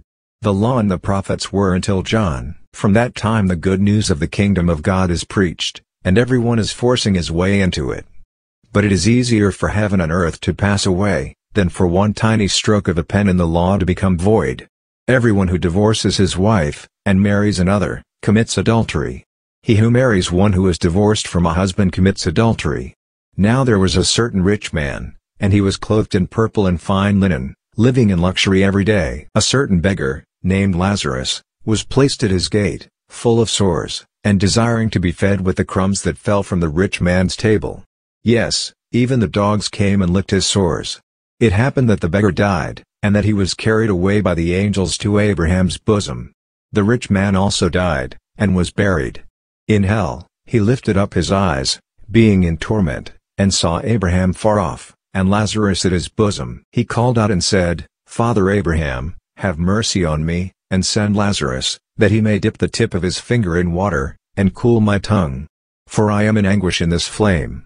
But Abraham said, Son, remember that you, in your lifetime, received your good things, and Lazarus, in like manner, bad things. But now here he is comforted and you are in anguish. Besides all this, between us and you there is a great gulf fixed, that those who want to pass from here to you are not able, and that none may cross over from there to us. He said, I ask you therefore, Father, that you would send him to my father's house, for I have five brothers, that he may testify to them, so they won't also come into this place of torment. But Abraham said to him, They have Moses and the prophets. Let them listen to them. He said, No, Father Abraham, but if one goes to them from the dead, they will repent. He said to him, If they do not listen to Moses and the prophets, neither will they be persuaded if one rises from the dead. Chapter 17 He said to the disciples, It is impossible that no occasions of stumbling should come, but woe to him through whom they come. It would be better for him if a millstone were hung around his neck, and he were thrown into the sea, rather than that he should cause one of these little ones to stumble. Watch yourselves. If your brother sins, rebuke him. If he repents, forgive him. And if he sins against you seven times in the day, and seven times returns to you, saying, I repent, you must forgive him. The apostles said to the Lord, Increase our faith. The Lord said, If you had faith like a grain of mustard seed, you would tell this mulberry tree, Be uprooted, and be planted in the sea, and it would obey you. But who is there among you, having a servant plowing or keeping sheep, that will say, when he comes in from the field, Come immediately and sit down at the table. But will he not say to him, Prepare my supper, clothe yourself properly, and serve me, while I eat and drink, and afterward you can eat and drink? Does he thank that servant because he did the things that were commanded? Even so you also, when you have done all the things that are commanded you, say, We are unworthy servants. We have done our duty. It happened as he was on his way to Jerusalem, that he was passing along the borders of Samaria and Galilee. As he entered into a certain village, ten men who were lepers met him, who stood at a distance. They lifted up their voices, saying, Jesus, Master, have mercy on us. When he saw them, he said to them, Go and show yourselves to the priests. It happened that as they went, they were cleansed. One of them, when he saw that he was healed, turned back, glorifying God with a loud voice. He fell on his face at Jesus' feet, giving him thanks, and he was a Samaritan. Jesus answered, Weren't the ten cleansed? But where are the nine? Were there none found who returned to give glory to God, except this stranger? Then he said to him, Get up, and go your way. Your faith has healed you. Being asked by the Pharisees when the kingdom of God would come, he answered them, The kingdom of God does not come with observation, neither will they say, Look, here. Or, Look, there. For the kingdom of God is within you. He said to the disciples, The days will come, when you will desire to see one of the days of the Son of Man, and you will not see it. And they will tell you, Look, there. Or look, here. Do not go away, nor follow after them, for as the lightning, when it flashes out of the one part under the sky, shines to the other part under the sky, so will the Son of Man be in his day. But first, he must suffer many things and be rejected by this generation. As it happened in the days of Noah, even so will it be also in the days of the Son of Man. They ate, they drank, they married, they were given in marriage, until the day that Noah entered into the box-shaped vessel, and the flood came, and destroyed them all. Likewise, even as it happened in the days of Lot, they ate, they drank, they bought, they sold, they planted, they built, but in the day that Lot went out from Sodom, it rained fire and sulfur from the sky, and destroyed them all. It will be the same way in the day that the Son of Man is revealed. In that day, he who will be on the housetop, and his goods in the house, let him not go down to take them away. Let him who is in the field likewise not turn back. Remember Lot's wife. Whoever seeks to keep his life will lose it, but whoever loses it will preserve it. I tell you, in that night there will be two people in one bed. The one will be taken, and the other will be left. There will be two grinding grain together. One will be taken, and the other will be left. They, answering, asked him, Where, Lord? He said to them, Where the body is, there will the vultures also be gathered together. Chapter 18 He also spoke a parable to them that they must always pray, and not give up, saying, There was a judge in a certain city who did not fear God, and did not respect people. A widow was in that city, and she often came to him, saying, Give me justice against my adversary. He would not for a while, but afterward he said to himself, Though I neither fear God, nor respect people, yet because this widow bothers me, I will give her justice, or else she will wear me out by her continual coming. The Lord said, Listen to what the unrighteous judge says. Won't God avenge his chosen ones, who are crying out to him day and night, and yet he exercises patience with them? I tell you that he will avenge them quickly. Nevertheless, when the Son of Man comes, will he find faith on the earth? He spoke also this parable to certain people who were convinced of their own righteousness, and who despised all others. Two men went up into the temple to pray, one was a Pharisee, and the other was a tax collector. The Pharisee stood and prayed to himself like this, God, I thank you, that I am not like other people, extortioners, unrighteous, adulterers, or even like this tax collector. I fast twice a week. I give tithes of all that I get.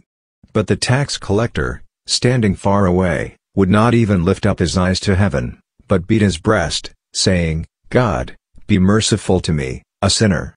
I tell you, this man went down to his house justified rather than the other, for everyone who exalts himself will be humbled, but he who humbles himself will be exalted.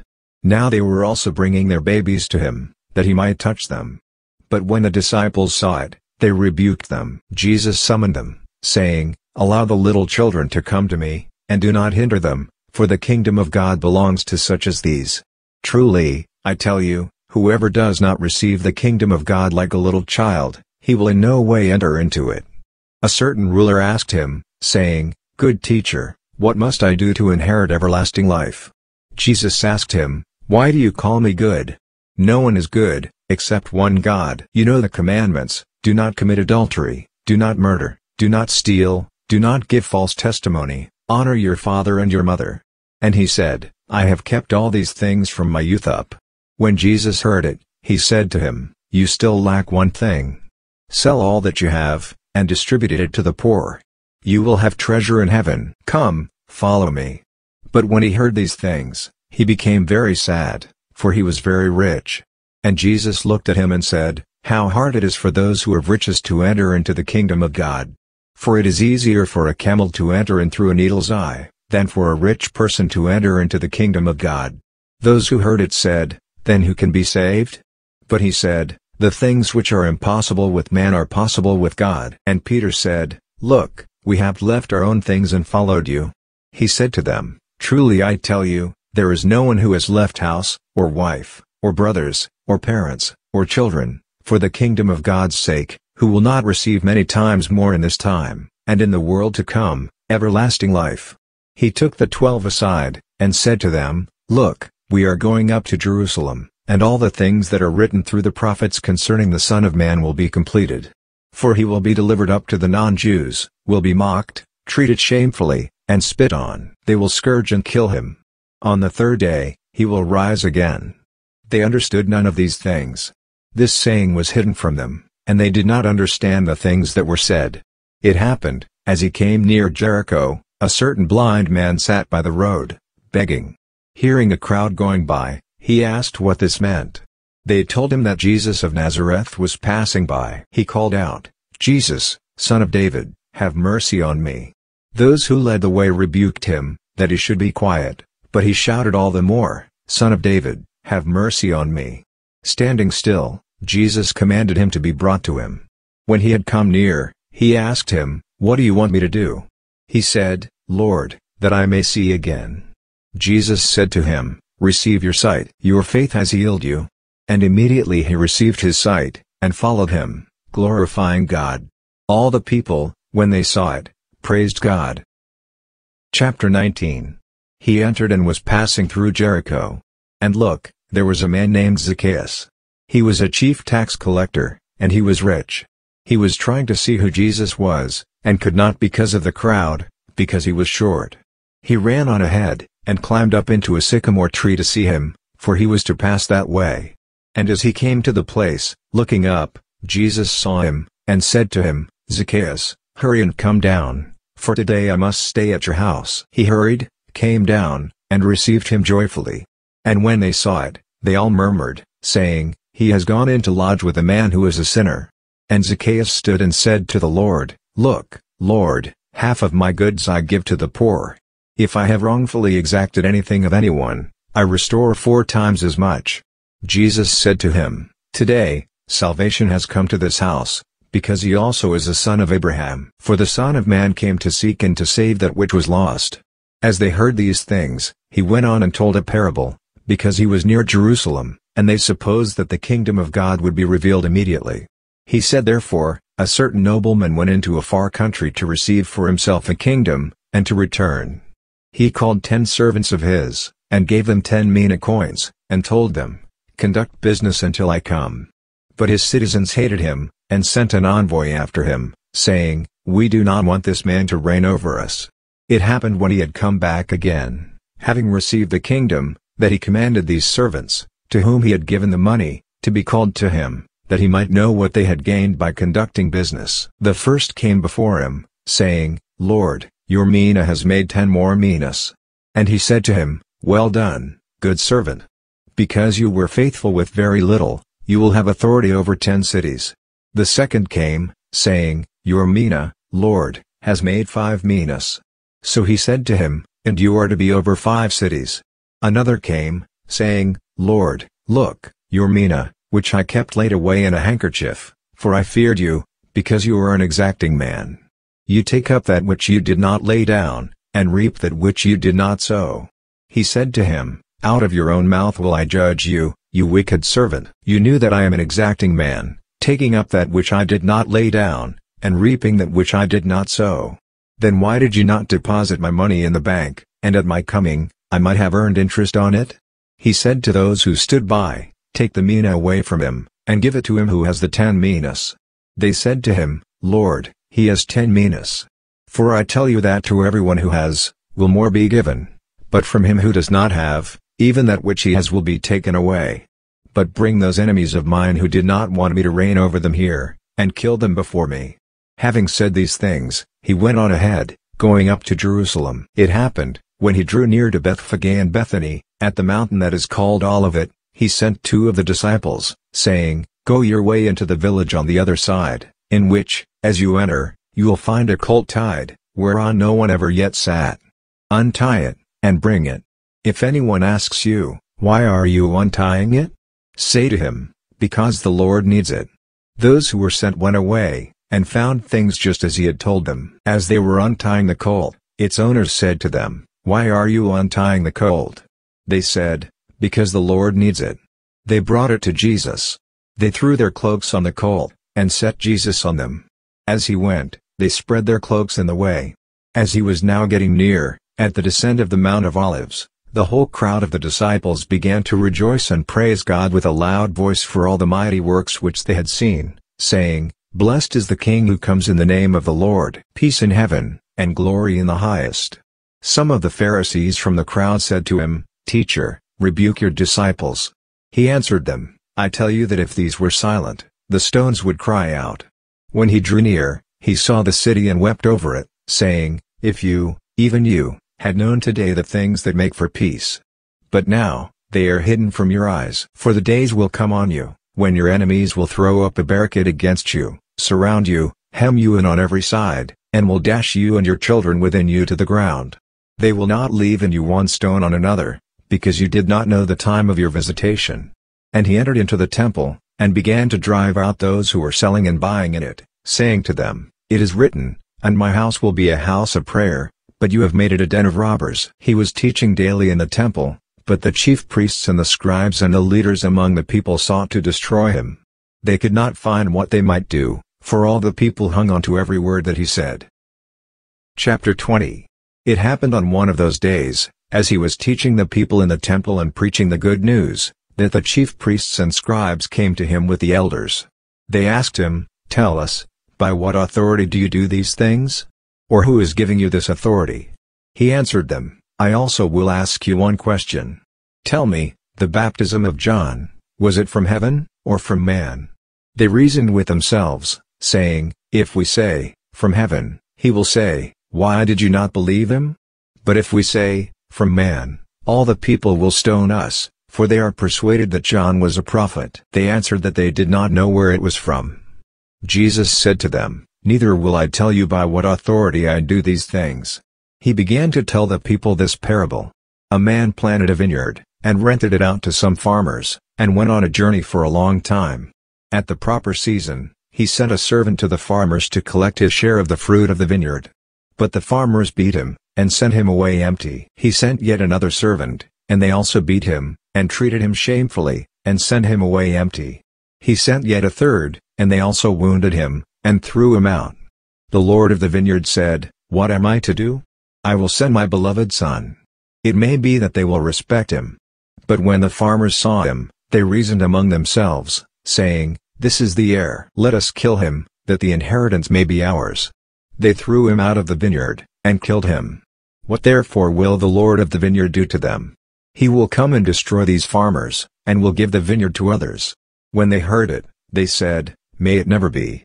But he looked at them, and said, Then what is this that is written, The stone which the builders rejected, the same was made the chief cornerstone?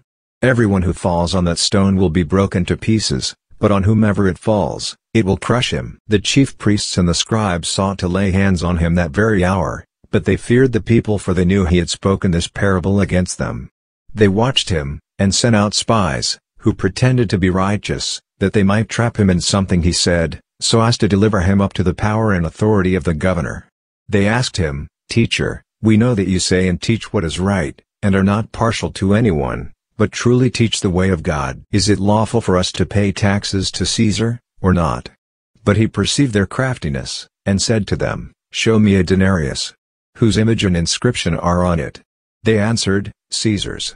He said to them, Then give to Caesar the things that are Caesar's, and to God the things that are God's. They weren't able to trap him in his words before the people. And amazed at his answer, they fell silent. Some of the Sadducees came to him, those who deny that there is a resurrection. They asked him, Teacher, Moses wrote to us that if a man's brother dies having a wife, and he is childless, his brother should take the wife, and raise up children for his brother. There were therefore seven brothers. The first took a wife, and died childless. The second and the third took her, and likewise the seven all left no children, and died. Afterward the woman also died. Therefore in the resurrection whose wife of them will she be? For the seven had her as a wife. Jesus said to them, The people of this age marry and are given to someone to marry. But those who are regarded as worthy of a place in that age in the resurrection from the dead neither marry nor are given to someone to marry. For they cannot die any more, for they are like the angels, and are children of God, being children of the resurrection. But that the dead are raised, even Moses showed at the bush, when he called the Lord the God of Abraham, and the God of Isaac, and the God of Jacob. Now he is not the God of the dead, but of the living, for all are alive to him. Some of the scribes answered, Teacher, you speak well. They did not dare to ask him any more questions. He said to them, Why do they say that the Messiah is David's son? David himself says in the scroll of Psalms, The Lord said to my Lord, Sit at my right hand, until I make your enemies the footstool of your feet. David therefore calls him Lord, so how is he his son? In the hearing of all the people, he said to his disciples, Beware of the scribes, who like to walk in long robes, and love greetings in the marketplaces, the best seats in the synagogues, and the best places at feasts, who devour widows' houses, and for a pretense make long prayers, these will receive greater condemnation. Chapter 21 He looked up, and saw the rich people who were putting their gifts into the treasury. He saw a certain poor widow casting in two lepta. He said, Truly I tell you, this poor widow put in more than all of them, for all these put in gifts from their abundance, but she, out of her poverty, put in all that she had to live on. As some were talking about the temple and how it was decorated with beautiful stones and gifts, he said, As for these things which you see, the days will come, in which there will not be left here one stone on another that will not be thrown down. They asked him, Teacher, so when will these things be? What is the sign that these things are about to happen? He said, Watch out that you do not get led astray, For many will come in my name, saying, I am he, and, the time is near. Therefore do not follow them. When you hear of wars and disturbances, do not be terrified, for these things must happen first, but the end won't come immediately. Then he said to them, Nation will rise against nation, and kingdom against kingdom. There will be great earthquakes, famines, and plagues in various places. There will be terrors and great signs from heaven. But before all these things, they will lay their hands on you and will persecute you, delivering you up to synagogues and prisons, bringing you before kings and governors for my name's sake. It will turn out as a testimony for you. Settle it therefore in your hearts not to meditate beforehand how to answer, for I will give you a mouth and wisdom which all your adversaries will not be able to withstand or to contradict. You will be handed over even by parents, brothers, relatives, and friends. They will cause some of you to be put to death. You will be hated by all for my name's sake. And not a hair of your head will perish.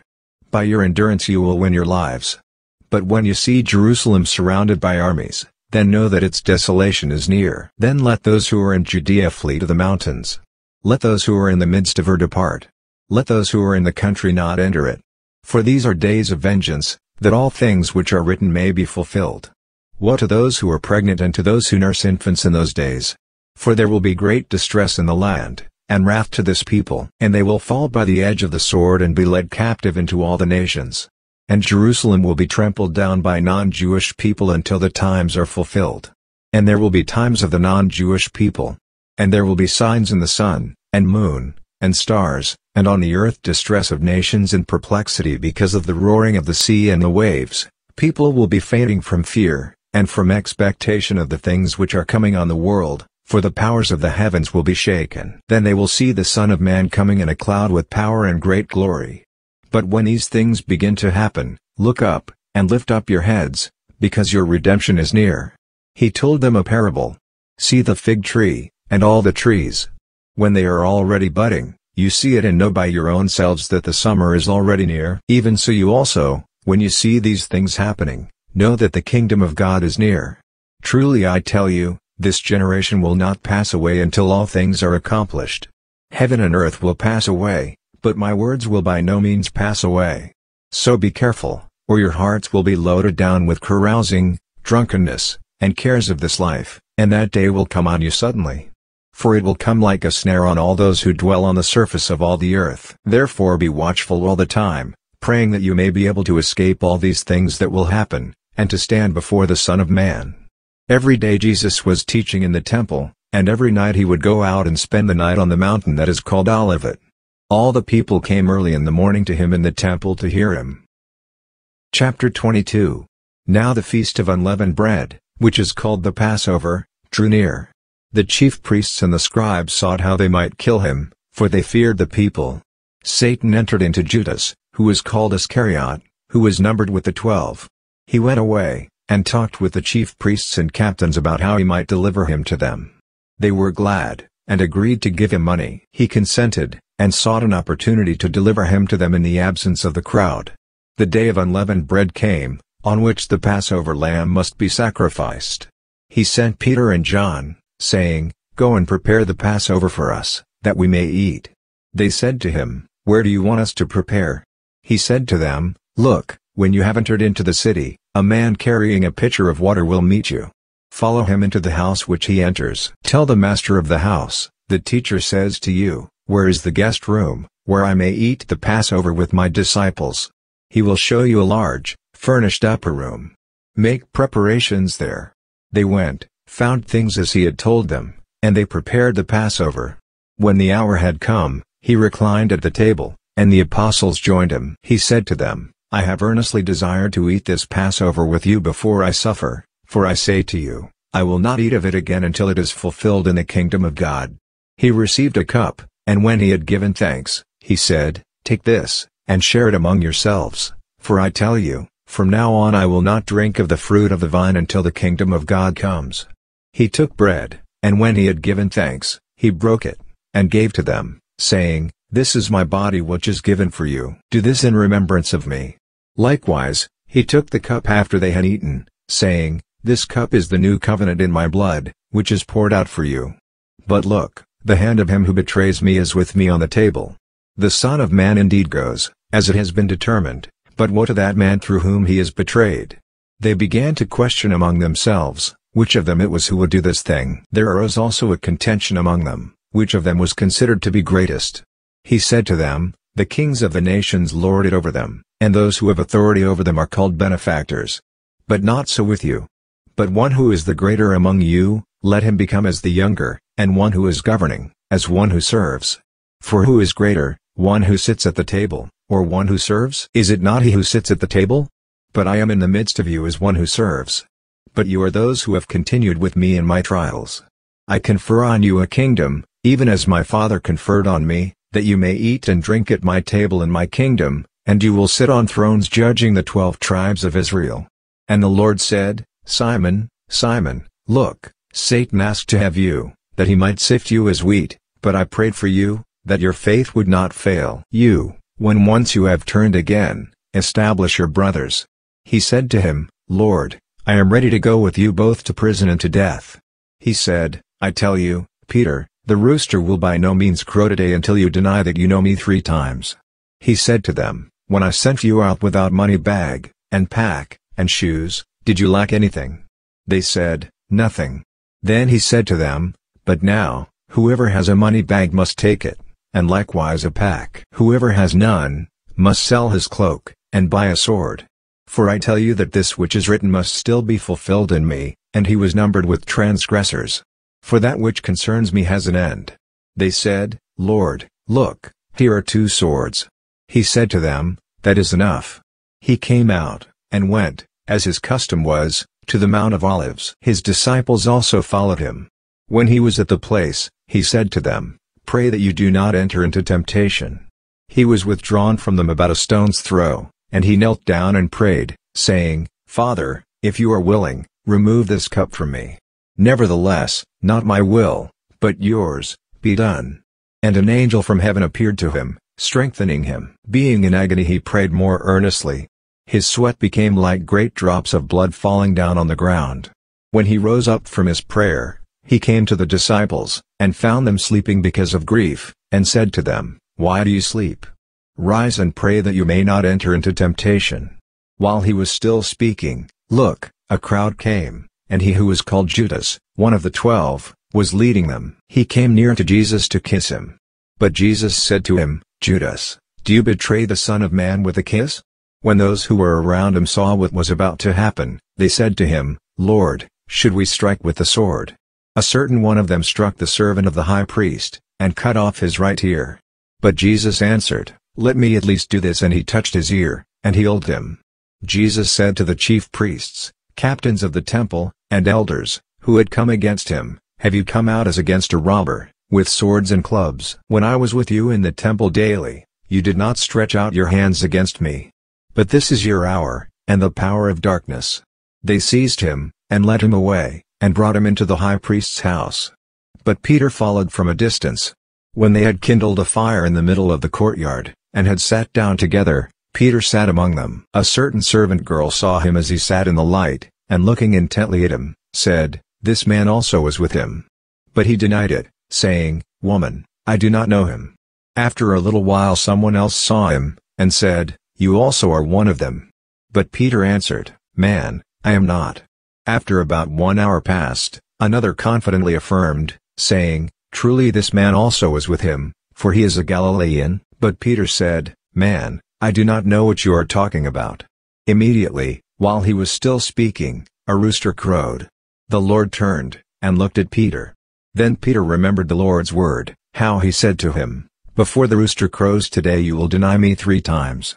And he went out, and wept bitterly. The men who held Jesus mocked him and beat him. And having blindfolded him, they were striking his face and kept asking him, Prophecy, who is the one who struck you? They spoke many other things against him, insulting him. As soon as it was day, the council of the elders of the people gathered together, both chief priests and scribes, and they led him away into their council, saying, If you are the Messiah, tell us.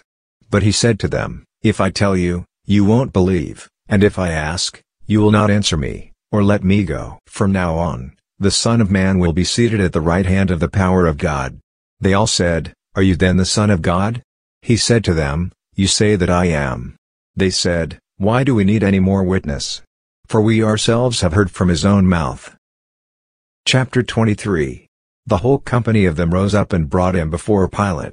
They began to accuse him, saying, We found this man subverting our nation, forbidding paying taxes to Caesar, and saying that he himself is the Messiah, a king.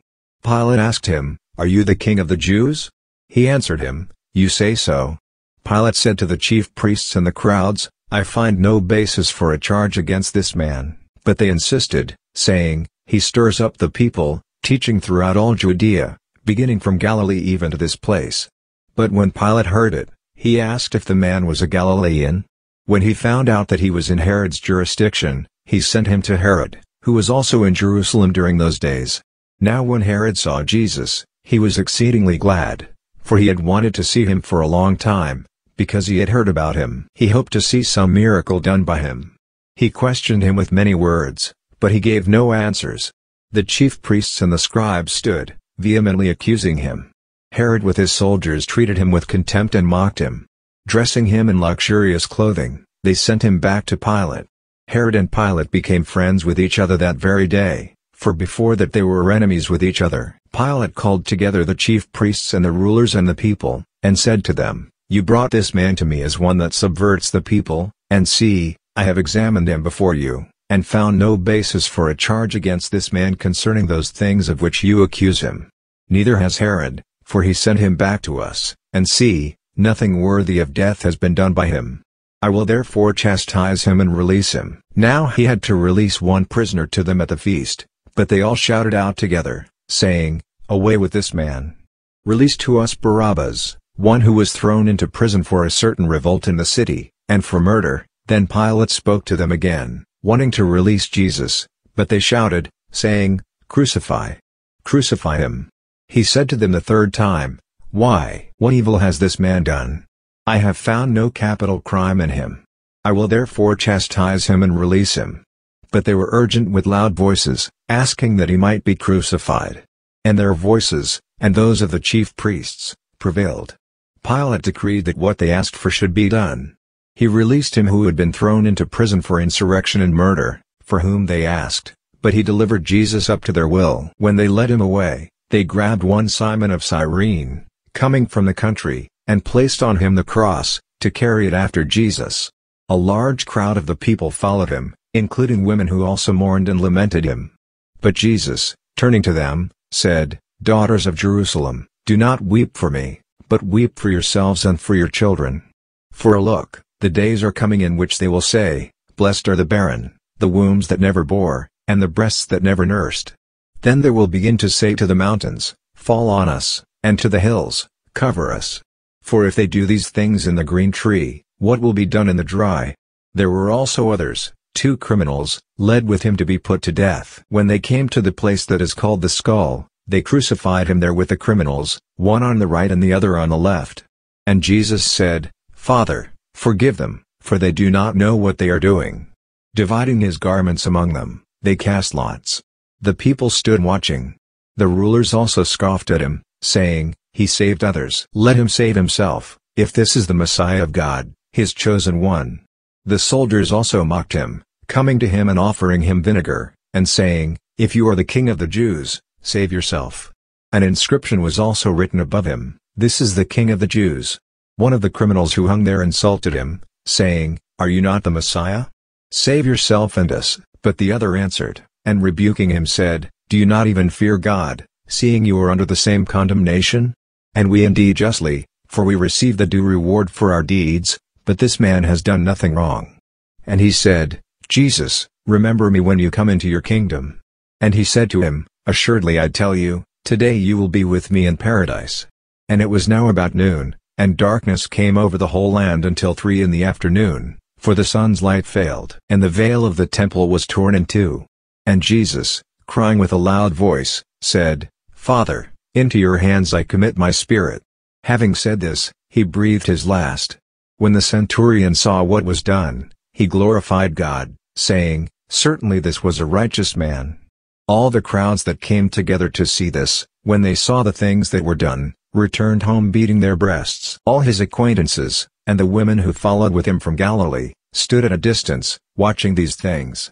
And look, a man named Joseph, who was a member of the council, a good and righteous man, he had not consented to their counsel indeed, from Arimathea, a city of the Judeans, who was also waiting for the kingdom of God, this man went to Pilate, and asked for the body of Jesus. He took it down, and wrapped it in a linen cloth, and placed him in a tomb that was cut in stone, where no one had ever been placed. It was the day of the preparation, and the Sabbath was drawing near. The women, who had come with him out of Galilee, followed after, and saw the tomb, and how his body was placed. They returned, and prepared spices and ointments. On the Sabbath they rested according to the commandment. Chapter 24 But on the first day of the week, at early dawn, they came to the tomb, bringing the spices which they had prepared. They found the stone rolled away from the tomb. They entered in, and did not find the body of the Lord Jesus. It happened, while they were greatly perplexed about this, look, two men stood by them in dazzling clothing. Becoming terrified, they bowed their faces down to the earth. They said to them, Why do you seek the living among the dead? He is not here, but is risen. Remember what he told you when he was still in Galilee, saying that the Son of Man must be delivered up into the hands of sinful men, and be crucified, and the third day rise again? Then they remembered his words. And returning from the tomb, they told all these things to the eleven and to all the rest. Now they were Mary Magdalene and Joanna and Mary the mother of James and the other women with them who told these things to the apostles. These words seemed to them to be nonsense, and they did not believe them. But Peter got up and ran to the tomb. Stooping and looking in, he saw the strips of linen by themselves, and he departed to his home, wondering what had happened. And look, two of them were going that very day to a village named Emmaus, which was about seven miles from Jerusalem. They talked with each other about all of these things which had happened. It happened, while they talked and questioned together, that Jesus himself came near, and went with them. But their eyes were kept from recognizing him. And he said to them, What are these words that you are exchanging with each other as you walk? And they stood still, looking sad. One of them, named Cleopas, answered him, Are you the only stranger in Jerusalem who does not know the things which have happened there in these days? He said to them, What things? They said to him, The things concerning Jesus, the Nazarene, a man who was a prophet mighty in deed and word before God and all the people, and how the chief priests and our rulers delivered him up to be condemned to death, and crucified him, but we were hoping that it was he who would redeem Israel. Yes, and besides all this, it is now the third day since these things happened. Also, certain women of our company amazed us, having arrived early at the tomb, and when they did not find his body, they came saying that they had also seen a vision of angels, who said that he was alive. Some of us went to the tomb, and found it just like the women had said, but they did not see him. Then he said to them, O foolish ones, and slow of heart to believe in all that the prophets have spoken. Did not the Messiah have to suffer these things and to enter into his glory? Beginning from Moses and from all the prophets, he explained to them in all the scriptures the things concerning himself. They drew near to the village, where they were going, and he acted like he would go further. They urged him, saying, Stay with us, for it is almost evening, and the day is almost over. He went in to stay with them. It happened, that when he had sat down at the table with them, he took the bread and gave thanks. Breaking it, he gave to them. Their eyes were opened, and they recognized him, and he vanished out of their sight. And they said to one another, Weren't our hearts burning within us, while he spoke to us along the way, and while he opened the scriptures to us? They rose up that very hour, returned to Jerusalem, and found the eleven gathered together, and those who were with them, saying, The Lord is risen indeed, and has appeared to Simon. They related the things that happened along the way, and how he was recognized by them in the breaking of the bread. As they said these things, Jesus himself stood among them, and said to them, Peace be to you. But they were terrified and filled with fear, and supposed that they had seen a spirit. He said to them, Why are you troubled? Why do doubts arise in your hearts? See my hands and my feet, that it is truly me. Touch me and see, for a spirit does not have flesh and bones, as you see that I have. When he had said this, he showed them his hands and his feet. While they still did not believe for joy, and wondered, he said to them, Do you have anything here to eat? And they gave him a piece of a broiled fish. And he took it and ate in front of them. And he said to them, This is what I told you, while I was still with you, that all things which are written in the law of Moses, the prophets, and the Psalms, concerning me must be fulfilled. Then he opened their minds, that they might understand the Scriptures. He said to them, Thus it is written, For the Messiah to suffer and to rise from the dead the third day, and that repentance leading to forgiveness of sins should be preached in his name to all the nations, beginning at Jerusalem. You are witnesses of these things. And look, I send forth the promise of my Father on you. But wait in the city until you are clothed with power from on high. He led them out as far as Bethany, and he lifted up his hands, and blessed them. It happened, while he blessed them, that he departed from them, and was carried up into heaven. They worshipped him, and returned to Jerusalem with great joy, and were continually in the temple, praising and blessing God.